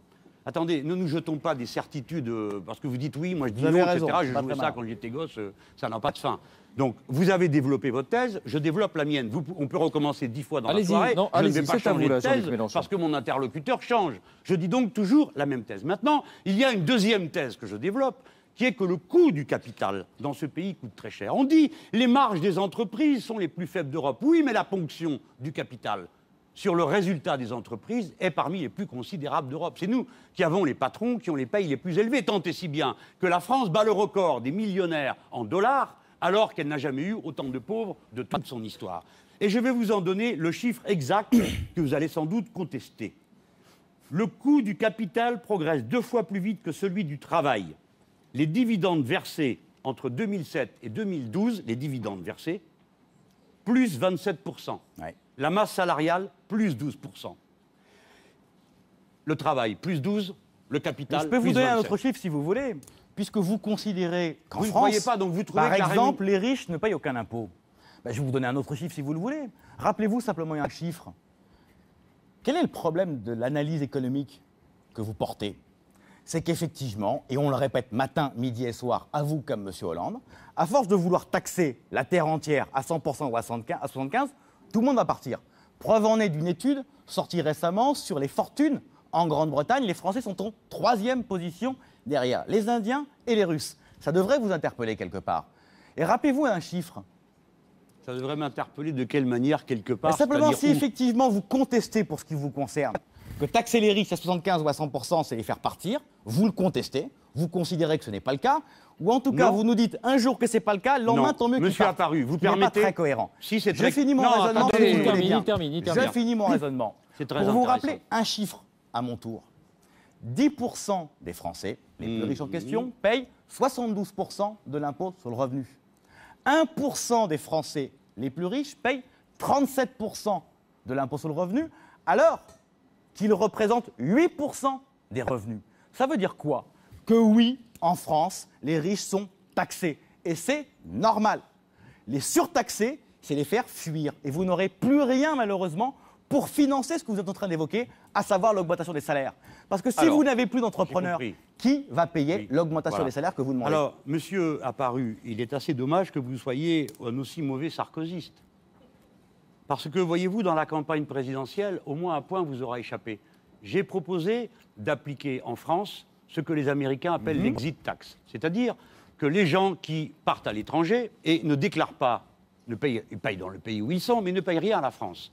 Les Nord-Américains obtiennent, parce qu'on on sait où sont les gens, que la différence soit payée au fisc nord-américain. Je propose qu'on fasse pareil pour la France. Je l'ai présenté devant M. Copé, qui s'est moqué de moi en disant Et voici M. Mélenchon, qui est un rouge, qui nous propose quelque chose comme aux États-Unis d'Amérique. Ah ah ah. Et puis ensuite, en soir, à TF1, Nicolas Sarkozy dit Je propose d'appliquer l'exit tax. Et il se trouve que la journaliste qui a de la mémoire, Madame Ferrari, dit Mais attendez, ça, c'est M. Mélenchon qui le propose. Et il répond oh, bah, Écoutez, euh, après tout, pourquoi pas C'est pas une si mauvaise On a déjà vu la scène avec M. Cahuzac il y a quelques semaines. On a déjà vu le débat, donc euh, vous pouvez le refaire le même si vous Non, le souhaitez. c'était oui. pas Cahuzac, là. Je suis en train de vous parler. J'entends bien, mais vous avez eu exactement la même scène il y a quelques semaines, donc on Oui, peut c'est-à-dire que vous si avez tendance à vous répéter, vous autres les libéraux. Et donc, euh, C'est vrai que vous la beaucoup situation, donc, le premier argument d'après lequel, si l'on taxe trop, tout le monde se sauvera et donc il n'y aura plus d'argent, s'écroule. Mais non. Car ceux qui s'en vont, de toute façon, seront taxés. Deuxièmement, Et donc vous allez les taxer deux fois, et en Grande-Bretagne et en France. Bravo. Oui, et je vais vous expliquer comment. Et on bien fait. sûr, les Britanniques vont l'accepter. Ça, ça va, ça va de Il soi. mieux Bien eux. évidemment que oui. Mais écoutez-moi, monsieur Qu'est-ce que vous allez faire aux Britanniques alors Mais écoutez, monsieur Apparu. Non, vous- mais vous- expliquez-nous concrètement Mais comment ça laissez-moi marche. parler pour qu'on Il vous vous l'explique. répond. Allez-y, Jean-Luc Monsieur. Apparu, vous ne le savez pas, mais ça fonctionne déjà. Ah bon? Et comment? Oui. Ben, je vais vous donner un Les exemple. conventions fiscales. Le mien. Sauf que faut être d'eau pour signer une convention fiscale. Attendez, le mien, l'exemple. Je suis député européen. Je suis taxé à la source par l'Union européenne. Puis je déclare ce que j'ai donné, ce que j'ai reçu, et le fisc français calcule combien je devrais lui donner si j'étais en France. Et c'est sur cette, différence qu'il devrait prendre.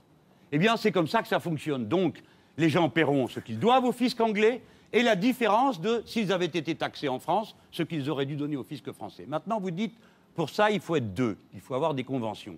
Eh bien, en effet, il faut être deux, donc il faut commencer à discuter. Les Nord-Américains l'ont fait pays par pays. Car voyez-vous, le nombre de pays concernés est extrêmement limité. Et savez-vous ce que nous dirons aux Anglais? À ce moment-là Nous leur dirons, si vous voulez qu'il en aille de même pour les ressortissants anglais qui sont chez nous, et qui sont nombreux, nous en sommes d'accord. Et ainsi, nous harmoniserons fiscalement. Et vous pensez donc qu'évidemment, les Britanniques signeront Oui, sans, sans en vous effet, faire je le pense. Bien évidemment. Je le pense parce que Vous êtes dans bien le seul, l'univers mais c'est pas grave. C'est déjà beaucoup. Non, mais écoutez, je vous en prie, dans l'univers entier, cette idée avance. Parce que tous les États s'y mettent et en ont assez de se faire détrousser. Et de la même manière, je pense que dans l'univers entier, on va prendre des dispositions contre les paradis fiscaux. Encore que, vous aurez remarqué, monsieur Apparu, et je pense que vous serez d'accord avec moi pour dénoncer cette situation. En 2009, lorsque s'est réuni le G20 à propos des paradis fiscaux, souvenez-vous, ils avaient dit qu'il y en avait 11 dans le monde qui étaient des paradis fiscaux. Le 2 avril, le 9 avril, il n'y en avait plus aucun sur la liste. Ce qui signifie qu'il y avait un état d'esprit à l'époque qui était d'essayer d'éviter la taxation du capital. Maintenant, tout le monde en a par-dessus la tête. Les États veulent rentrer dans leur argent. Voilà pourquoi, monsieur Apparu, cette méthode technique dément l'idée d'après laquelle tout le monde se sauverait. Quant aux impôts, je vais vous dire une Et chose. ce sera le mot de la je fin. ne propose pas la taxe à 75% et je suis contre. Non, vous êtes pour c'est une 100%, taxe. si j'ai bien compris. Écoutez-moi, monsieur Apparu, vous n'avez encore une fois pas bien compris. Je propose qu'il y ait 14 tranches d'impôts au lieu des 5 qu'il y a aujourd'hui. Parfaitement compris. Et là, oui, ben ça lisse les Et au-dessus de 360, vous et montez à au-dessus 100%. de 30 000 euros par mois, je prends tout, en effet. Et je voudrais vous dire... Vous prenez tout, donc plus un chef d'entreprise en France. Bravo. Parce Belle que vous croyez que les chefs d'entreprise gagnent 30 000 euros Je par pense mois simplement une chose, Vous monsieur. n'êtes pas au courant. La Je plupart pense- des chefs d'entreprise, au maximum, ont Mais 4 C'est 000 justement euros la par mois et différence 1 entre 500. vous et moi, monsieur Mélenchon. C'est que moi, je ne me contente pas de dénoncer des problèmes. Quand je suis dans ma circonscription à Châlons-en-Champagne, Faites-moi pleurer. je me contente pas, non, je ne vais pas vous faire pleurer. J'espère même que vous m'aiderez dans ce combat-là. Rapidement, Quand Benoît j'ai Apparu. effectivement une entreprise Très vite. De, euh, qui s'appelle Grand Île, qui aujourd'hui effectivement est en Ça, dépôt un de bilan. local Je Oui. travaille effectivement avec la CGT, avec le chef d'entreprise, avec les collectivités de droite, avec les collectivités de gauche pour trouver des solutions. Je ne me contente pas de dénoncer des problèmes et de jeter à la vindicte populaire les bourgeois, les chefs d'entreprise ou qui vous voulez. rien ce que vous ça. faites. Bah, vous avez passé votre soirée à faire ça. Vous, vous avez l'impression La que réponse- critiqué Ah oui, les- ça- Ah oui, d'accord. Ah, clairement, oui. Bon, ça, oui. on se comprend Apparemment, le CAC 40, il n'y a que ça qui vous. Oui, en le seul problème, c'est que le CAC 40, c'est 1% des boîtes françaises. et que vous oubliez qu'il y en a 99 autres qui travaillent Mais je n'oublie pas différemment, du tout, c'est qui bien sont là pour monsieur- aider, aider les salariés, Oui, sont là pour effectivement travailler avec eux. sont et conclusion de. Jean-Luc Mélenchon. D'abord, je, je voudrais totalement récuser euh, une, une- une insinuation. Je perdrai peut-être mon temps, mais moi, je n'ai pas ce regard sur l'entreprise qui est celui de Monsieur Apparu, à savoir l'entreprise ne marche que si on donne l'impression que l'enrichissement va être gigantesque. Ce n'est pas vrai. La l'immense majorité des chefs d'entreprise sont dans des salaires qui ne justifient pas l'idée qu'ils se font euh, de, leur, euh, de leur vote politique. C'est une erreur. Voilà. Euh, L'entreprise, pour moi, c'est d'abord un collectif humain. Ça repose sur des qualifications professionnelles. Et c'est ce collectif humain qui m'intéresse. Et donc les droits de ceux qui participent à ce collectif humain. Voilà pourquoi je défends, je ne me contente pas de dénoncer. Je suis contre les licenciements boursiers, monsieur Apparu. Je pense que peut-être vous voterez la loi Non, on va pas relancer le débat le là-dessus. 16 mai. Il y a Nous sommes chance. contre les licenciements boursiers. Je suis pour que. Moi, je suis on contre la pluie diminue aussi, vous savez, mais l'intérieur je suis de pas sûr que l'entreprise, 300 efficace je de dire suis comme pour ça. qu'on diminue à l'intérieur de l'entreprise, dans les actionnaires, les droits et les pouvoirs de vote de ceux qui ne prennent pas d'engagement sur la durée de leur placement. Voyez-vous, c'est une deuxième façon de traiter concrètement le problème de la concluez, volatilité du capital. Donc, ne m'attribuez pas des positions qui sont uniquement celles des caricatures de vos livres de propagande. Nous ne sommes pas les salles rouges qui passent leur temps avec des pics à vouloir trimballer la tête du moindre chef d'entreprise. Vu votre cabinet- Merci, vocabulaire à vous deux. Merci à vous deux. Mon Merci vocabulaire, Benoît mieux. d'être euh, venu. Aux examinateurs entre guillemets vont nous rejoindre.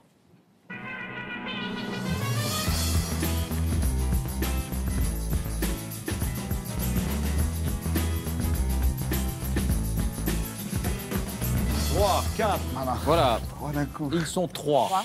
Ils sont trois. En fait, euh, c'est physique la sélection ici. Voilà, de gauche à droite, Paolo Lévy, Hélène Jouan, Guillaume ici Roquette. Hélène, c'est à vous. Chacun de vous trois va Moi, pouvoir revenir sur un point où vous avez trouvé Jean-Luc Mélenchon évasif, où vous n'avez pas eu les réponses qui vous satisfont. Hélène, pas vous vous commencez. m'avez trouvé bon. On le dira Ça, à la ce fin, sera la conclusion dans cinq minutes. On le dira à la fin. Euh, bonsoir Jean-Luc Mélenchon. Bonsoir, Euh, un mot sur euh, peut-être sur votre stratégie politique. Vous avez cité à plusieurs reprises Claude Bartolone, le président de l'Assemblée nationale, qui a donné une, une interview au Monde dans laquelle il réclame un, un acte 2 du quinquennat, dans, laquelle, dans, lequel, dans laquelle il réclame également une, une vraie tension avec l'Allemagne et non plus une tension amicale. Vous avez fait remarquer à François Langlais que vous étiez beaucoup moins seul euh, qu'il y a quelques mois pour dire en gros que que l'austérité euh, menait à la récession. Ça, commence à diffuser, à infuser au gouvernement, dans la majorité, etc. Euh, je comprends pas bien pourquoi vous ne prenez pas la tête euh, des États généraux de la gauche. Il y a des gens qui vous tendent la main.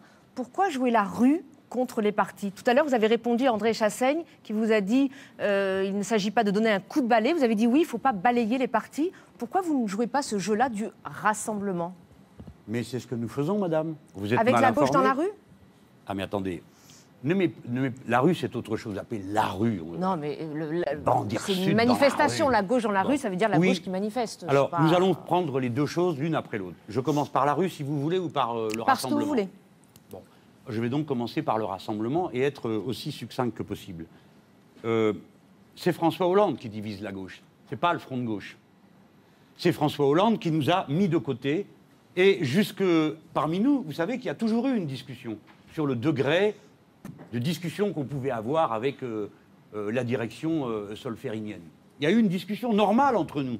Certains disaient il ne faut pas y aller trop fort, on va trouver le moyen de s'arranger. Ceux-là se sont fait fermer la porte sur le nez, sur les doigts. Voilà.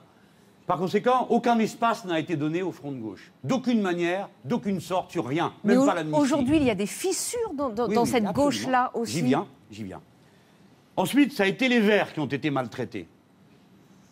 Notamment, vous le savez peut-être pas, mais sur les propositions de loi qu'ils déposent. Elles sont vidées et jetées à la poubelle. Le PRG, qui est quand même le parti le plus proche du Parti socialiste, avait un accord sur une question qui ne coûtait aucun euro, c'était ne faire qu'une seule circonscription pour les élections européennes. On leur avait dit oui, on leur dit non. Tout le monde a été maltraité.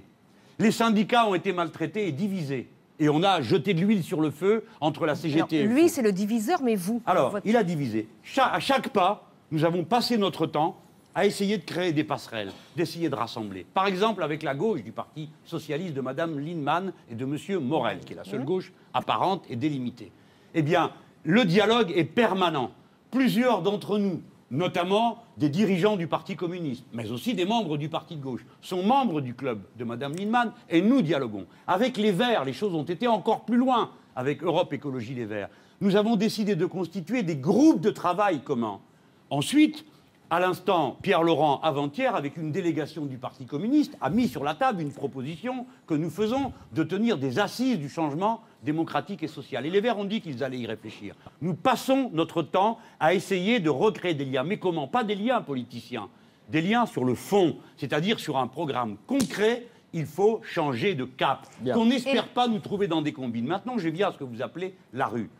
Madame, Non, mais il n'y a rien de péjoratif dans la rue, pardonnez-moi si je- vous bon, l'entendez très comme bien, ça. alors je vous en donne acte Voilà. euh, et, et n'en parlons plus. D'accord. Bien. Euh, ce que nous appelons, nous, la mobilisation. Vous devez comprendre quelque chose de très important pour nous. La manifestation, c'est une mobilisation qui demande des efforts considérables. Une marche citoyenne comme celle que nous organisons nécessite que des milliers de gens se disent j'y vais, j'y vais pas. Je mets des sous pour prendre le bus, pour prendre le train, je, vais faire du covoiturage. Chacun est ramené à lui-même dans une situation où la situation financière est très dure, comme vous le savez.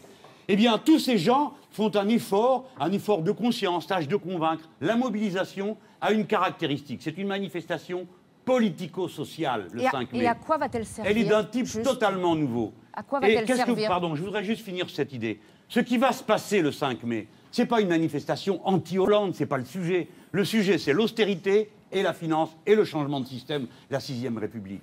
Qu'est-ce qui va se passer ce jour-là? Vous allez voir Non, la gauche dans la rue. et Ça fait des mois qu'on ne la voit pas. Et après, qu'est-ce qui va se passer après? À Mais quoi vous êtes journaliste, vous voulez toujours savoir après ce qui va. Mais d'abord, commençons par voir, madame. Si nous sommes 100 000 ce jour-là, ou plus de 100 000, 200 000, ce sera un événement politique dont, que François Hollande ne peut pas contourner.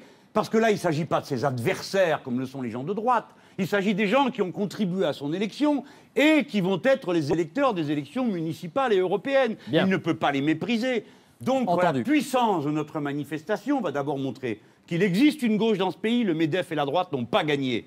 Deuxième élément, que nous avons des revendications concrètes. Vous allez voir dans la manifestation des gens réclamer le vote de la loi sur l'amnistie sociale, réclamer le vote de la loi contre les licenciements boursiers. Vous allez voir des gens dire une chose extraordinaire. Nous voulons la sixième République. Entendu. C'est un mot d'ordre de très haut niveau de conscience politique. Voilà à quoi sert d'abord une manifestation. Guillaume Roquette. Créer un état d'esprit et construire un rapport de force. Guillaume Hollande, Roquette, c'est à vous. ou bien il en tiendra compte, ou bien il sera châtié dans les urnes. Guillaume Roquette. Oui, Monsieur Mélenchon, vous avez magnifiquement parlé de, la force de la rue. Est-ce que pour vous, il y a une bonne et une mauvaise rue? C'est-à-dire que vous le savez, depuis euh, en dix semaines, le mouvement contre le mariage et l'adoption pour les homosexuels a réussi à réunir entre 340 000 et 1 400 000 personnes. Ça dépend des estimations. Ça correspond à un mouvement de fond.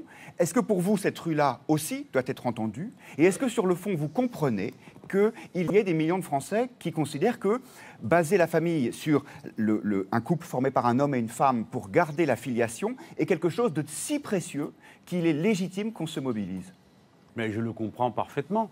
Et, nous sommes une démocratie. Par définition, la démocratie, euh, c'est qu'on n'est pas d'accord. Et quand une loi est votée, ça ne veut pas dire que ceux qui ne l'approuvaient pas doivent changer d'avis.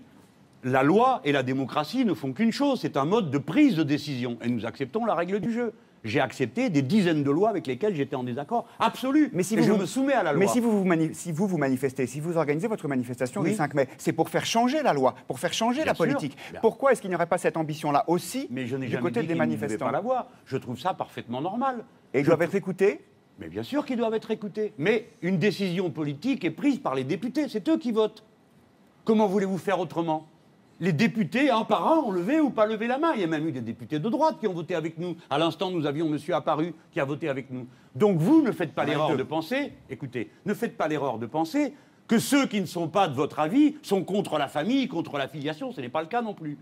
Regardons bien les choses comme elles sont. Et voyez-vous, je ne ferai pas l'injure à ceux qui font ces manifestations contre le mariage pour tous, dont je désapprouve les thèmes. Je ne leur ferai pas l'injure de les confondre avec la poignée de violents qui ont défiguré ces manifestations, parce que nous, nous sommes toujours tellement navrés quand nos manifestations sont défigurées par des violents. Nous n'aimons pas la violence, nous ne l'aimons pas davantage que ceux qui ne l'aiment pas du côté de droite. Nous sommes le grand peuple français. Nous avons l'habitude des confrontations et de la démocratie. La décision est prise, il faut s'y soumettre jusqu'à la prochaine élection. La prochaine élection capable de trancher cette question, c'est 2017. Il y aura des législatives et une élection présidentielle. Et il serait légitime que la droite abroge cette loi? Si la droite le propose dans son programme et que le peuple français y consent, si les députés le votent, oui, la décision sera légitime.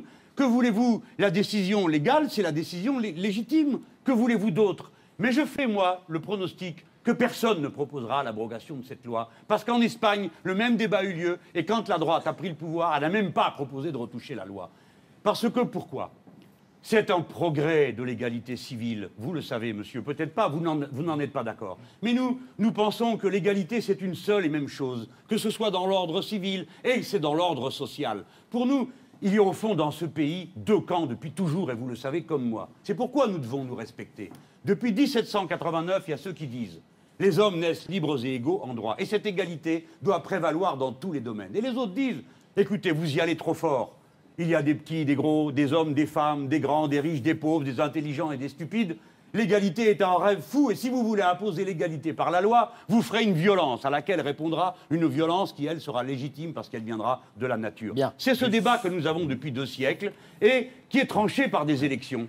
Sauf que, juste 10 secondes là-dessus, sauf que Robespierre n'a jamais dit qu'un enfant n'avait pas le droit d'avoir un père et une mère. Euh, non, en effet, je ne crois pas que le problème lui ait été posé. Voilà. Cependant, à l'époque, C'est pour, écoutez-moi, ça que cette- monsieur. c'est pour ça que cette référence historique me paraît soumise à caution. C'est juste ce que je voulais dire. Non, c'est le principe d'égalité. Mais écoutez, pendant que nous parlons Rapidement, ensemble de cet plaît. instant, euh, à cette époque-là, euh, la Révolution a créé le suffrage universel, mais il n'était que masculin. Rares étaient ceux qui proposaient le droit de vote des femmes parce que ça paraissait contre nature aux esprits de l'époque. Et Robespierre fait partie des quatre personnes qui ont proposé le droit Alors. de vote des femmes. Comme quand il a proposé la citoyenneté pour les juifs, tout le monde a dit Ah, les juifs aussi Eh ben oui, les juifs aussi, ce sont des citoyens français comme les autres, et cela a été adopté. Et personne n'est jamais revenu là-dessus. Paolo eh bien, Levi. voyez-vous, personne ne reviendra jamais sur l'égalité civile. Paolo Levi, c'est à vous. Ah, le regard italien. Oui, bonjour monsieur, bonsoir monsieur Mélenchon. Écoutez, pendant cette longue émission, vous avez dit de très très belles choses. Vous vous êtes défini un philosophe des Lumières. Vous avez dit aussi que C'est mon ADN politique. la fin ne justifie jamais les moyens. Mm.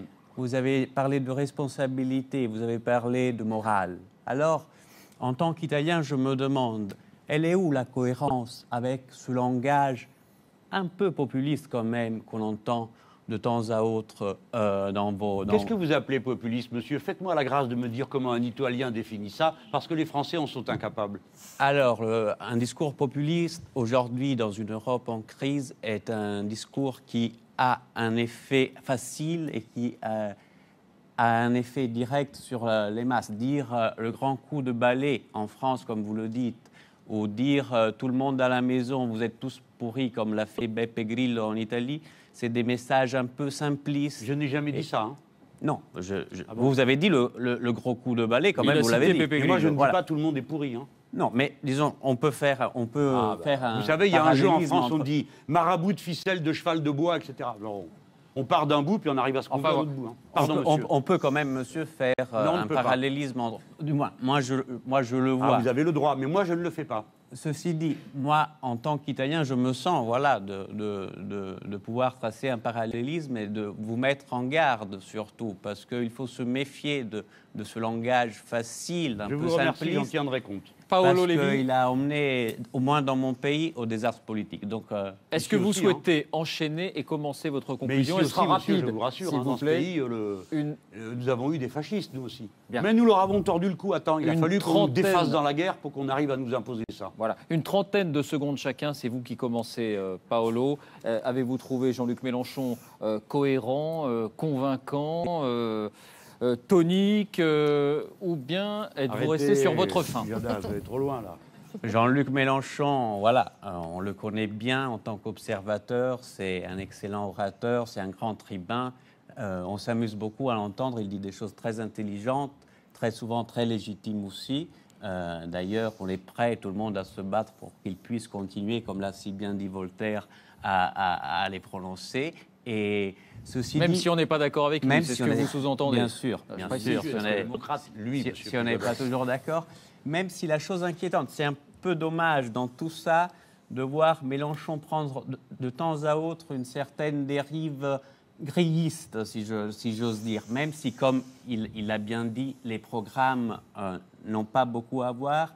Dans la méthode, dans le langage, ça fend le cœur de, de temps en temps d'entendre un monsieur si brillant que ça, voilà, des mots euh, comme on a pu entendre, le grand coup de balai, euh, bon, les salopards que vous avez quand même, euh, euh, même si vous ne l'avez pas prononcé directement, vous l'avez assumé quand même. bah ouais. Voilà. Voilà. C'était Euh, votre C'est un peu conclusion. dommage. C'est un peu dommage pour. euh, Mais ça va. Hélène.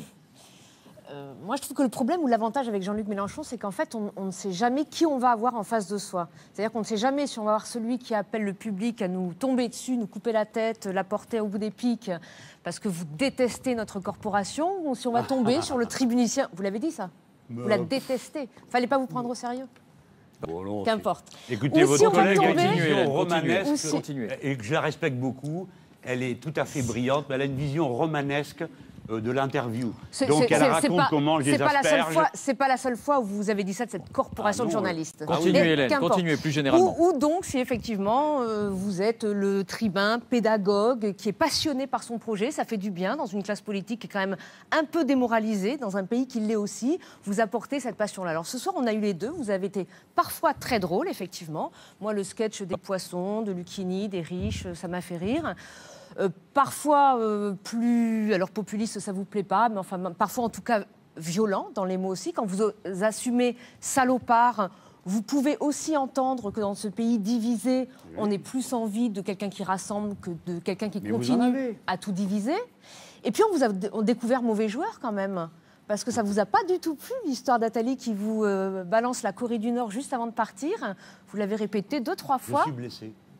Vous C'est une blessé. dictature abominable, la Corée du Nord. Imaginez-vous, je vous dis à vous, euh, vous, vous êtes qu'une, euh, un magnétophone de la propagande capitaliste. Vous C'est direz, vrai, ça me écoutez, plairait pas non plus. Bah, vous direz, écoutez, non, quoi, c'est bon, quoi, on se respecte, on a un peu de considération l'un pour l'autre, même si on n'est pas d'accord. J'accepte pas que M. Attali sorte en disant, il prépare la Corée du Nord. Je ne prépare pas une dictature. J'aime la liberté. Je suis un républicain. Comment peut-on comment peut-on faire des choses comme ça? À quoi ça sert de Qu'est-ce que ça Mais- veut dire de me traiter de cette manière-là Depuis des mois que ça dure. Faire Ah, voilà. des bons mots parfois violents, vous savez le faire, vous Oui. l'utilisez, vous en Oui, usez, oui. vous avez. Allez, dites-moi des- quand Non, j'ai en- traité euh, mes adversaires euh, de, De de- de salopards. dictateurs. euh, Bah, salopard, je ne sais pas entre salopard et dictateur quel est le pire, Ma mais on, peut, on peut se sentir touché par Un salopard. mot et la face du monde est changée. Allez, Guillaume dit Mais juste pour finir, le 5 Oui. mai, ce sera un test quand même pour vous. Et je crois qu'effectivement, Pas tout à l'heure. pour moi, parce si, pas pour vous aussi. Si, Mais moi, je suis rien là-dedans. Parce qu'on saura si- le porte-parole. Aujourd'hui, c'est moi. on saura Demain, si- c'est Bessac qui est là. C'est Clémentine Autain. C'est Martine Billard qui est là. Mon camarade Pierrel. euh, mon, mon camarade Christian On saura- Piquet. Nous sommes interchangeables. Regardez-les comme ils sont beaux. Attendez, test pour le front on saura-. Et voilà sera- Daniel Obono qui est là. Et mon Bien. camarade Coquerel. Mais ce sera- Arrêtez, c'est pas personnel. Je Mais ce défends sera, pas quelque chose de aussi, ce personnel. sera aussi un test pour, euh, sur votre parler cru et dru. Est-ce que le peuple. Ah, ça, vous allez que pas les- être déçus du mais trajet, non, le 5 mais mai. est-ce qu'il fait écho, effectivement, ou est-ce que quelqu'un d'autre fait plus écho que vous Évidemment, Marine Le Pen. Et aujourd'hui, on a l'impression que c'est quand même plus celle qui Eh s'installe bien, que vous. Oui, Guillaume Roquet. bien sûr que nous verrons. Votre conclusion. Mais bien sûr, madame. Attendez, mais il y a quand même un mot à dire. Madame Rapidement. Le Pen et la marque Le Pen, c'est comme Coca-Cola. Ils sont là depuis toujours. Ça fait 40 ans Ils qu'ils sont sont, là installés, à vous dire du mal dire. des Arabes et des musulmans. Bien. On connaît. Et On ils va ne pas se lancer rien sur le Front National. Depuis 40 ans. Et ils arrivent à chaque deuxième tour en disant c'est pas mon affaire, ça ne me concerne pas. Guillaume Débrouillez-vous. Roquet, votre Voilà. conclusion. Ces Allez-y, c'est normal Oui, qu'ils Jean-Luc soient Mélenchon, plus vous nous influents disiez- que nous. C'est plus facile de dire que la faute est à l'arabe qu'au banquier. Allez, D'accord Jean-Luc Mélenchon, vous nous Oui. avez dit il y a quelques instants que, que cet exercice n'avait rien de personnel. Bien sûr que si qu'il est personnel, parce que la star, c'est vous et vous le savez. Et depuis le début de cette émission, vous vous considérez, vous vous comportez comme une star. Et c'est une, c'est une, évidemment un compliment Mais dans en- ma en bouche. quoi- en quoi parce, que, parce que vous avez tenu l'audience, parce que quand vous nous parlez de tortues, de radiateurs, de balais, euh, de grenouilles, évidemment que vous captivez l'audience. Mais est-ce qu'il n'y a pas un risque c'est ce que j'allais vous dire, monsieur. Je- Euh, que on dit la parole directe au peuple. Euh, enfin, en non, démocratie, Et je vais terminer mon raisonnement. Sa conclusion. Je vais terminer mon raisonnement. Non, je vais, mais non, je vais Ah vous dire, je vais vous dire le risque. À mon avis, c'est que La de ce genre d'exercice, oui, le risque de ce genre d'exercice, c'est que, en fait, vous apparaissiez comme un révolutionnaire pour rire. Non pas que vous soyez comique dans vos convictions, parce que vous les avez, mais parce que dans le fond, vous savez très bien que vous êtes dans une espèce d'impasse. Je pense que Benoît Apparu a eu la bonne expression quand il a dit rapport de force. Le rapport de force, il vous est plus négatif que jamais. pas plus tard qu'hier, François Hollande vous a claqué la porte au nez en disant sur la loi, euh, sur l'amnistie des délits syndicaux, nous n'y reviendrons pas. Vous savez très bien que euh, votre candidat au dernier législatif partiel dans l'Oise a fait 6,6%. Vous savez que vous-même, vous avez fait 11%. Et vous savez que François Hollande ne changera pas de politique. Au contraire, il donne des nouveaux signes tous les jours qu'il veut faire une politique de rigueur. Et que donc, vous êtes dans cet exercice qui est, encore une fois, extrêmement impressionnant, spectaculaire. On arrive autour de cette table en tremblant en disant pourvu qu'on ne se fasse pas allumer. Mais sur le fond, est-ce que votre message passe comme vous le souhaitez? J'en suis pas certain. Alors, Quelques non, secondes de conclusion. Je, je suis très sensible au fait que vous vous souciez de la portée de mon message. Ça m'émeut, euh, ça me touche beaucoup. Mais supportez que je m'en occupe moi-même. Et c'est ce que j'ai envie de vous dire aussi. C'est normal qu'on cherche à convaincre, et même parfois à séduire. Mais vous aurez remarqué que j'ai toujours des arguments, j'ai toujours une proposition. C'est pourquoi ne vous détendez jamais. Parce que je peux faire une blague et l'instant d'après, je vous annonce que dans les entreprises, il n'y aura pas un salaire supérieur de 1 à 20. Oui, mais personne ne sait que vous ne le mettrez pas en pratique. J'y viens. Rapidement, s'il vous plaît. C'est- Oui, la règle de un l'émission. C'est quelques monsieur. secondes de conclusion. Et un républicain. Je crois à la conviction au temps qui passe. Et je trouve spectaculaire que le courant politique que j'incarne, puisque c'est moi aujourd'hui pour le front de gauche, soit sorti des catacombes où il se trouvait et en moins d'un an soit passé de 2% une élection présidentielle à 11%. Et je fais le pari qu'aux prochaines élections européennes, le front de gauche passera devant le Parti socialiste et que donc la hiérarchie de la gauche changera. Que voulez-vous qu'ait comme but un démocrate? Je crois aux élections et au suffrage universel. Je crois aux manifestations de rue, à l'implication citoyenne. Et puis ensuite, c'est le peuple souverain qui tranche, monsieur. Et vous ne savez pas ce qu'il tranchera. Et moi, je fais le pari qu'il tranchera de notre côté. Eh bien. Parce que la France est grande et a envie d'être grande. Et moi, je lui propose de l'être. Merci Jean-Luc Mélenchon.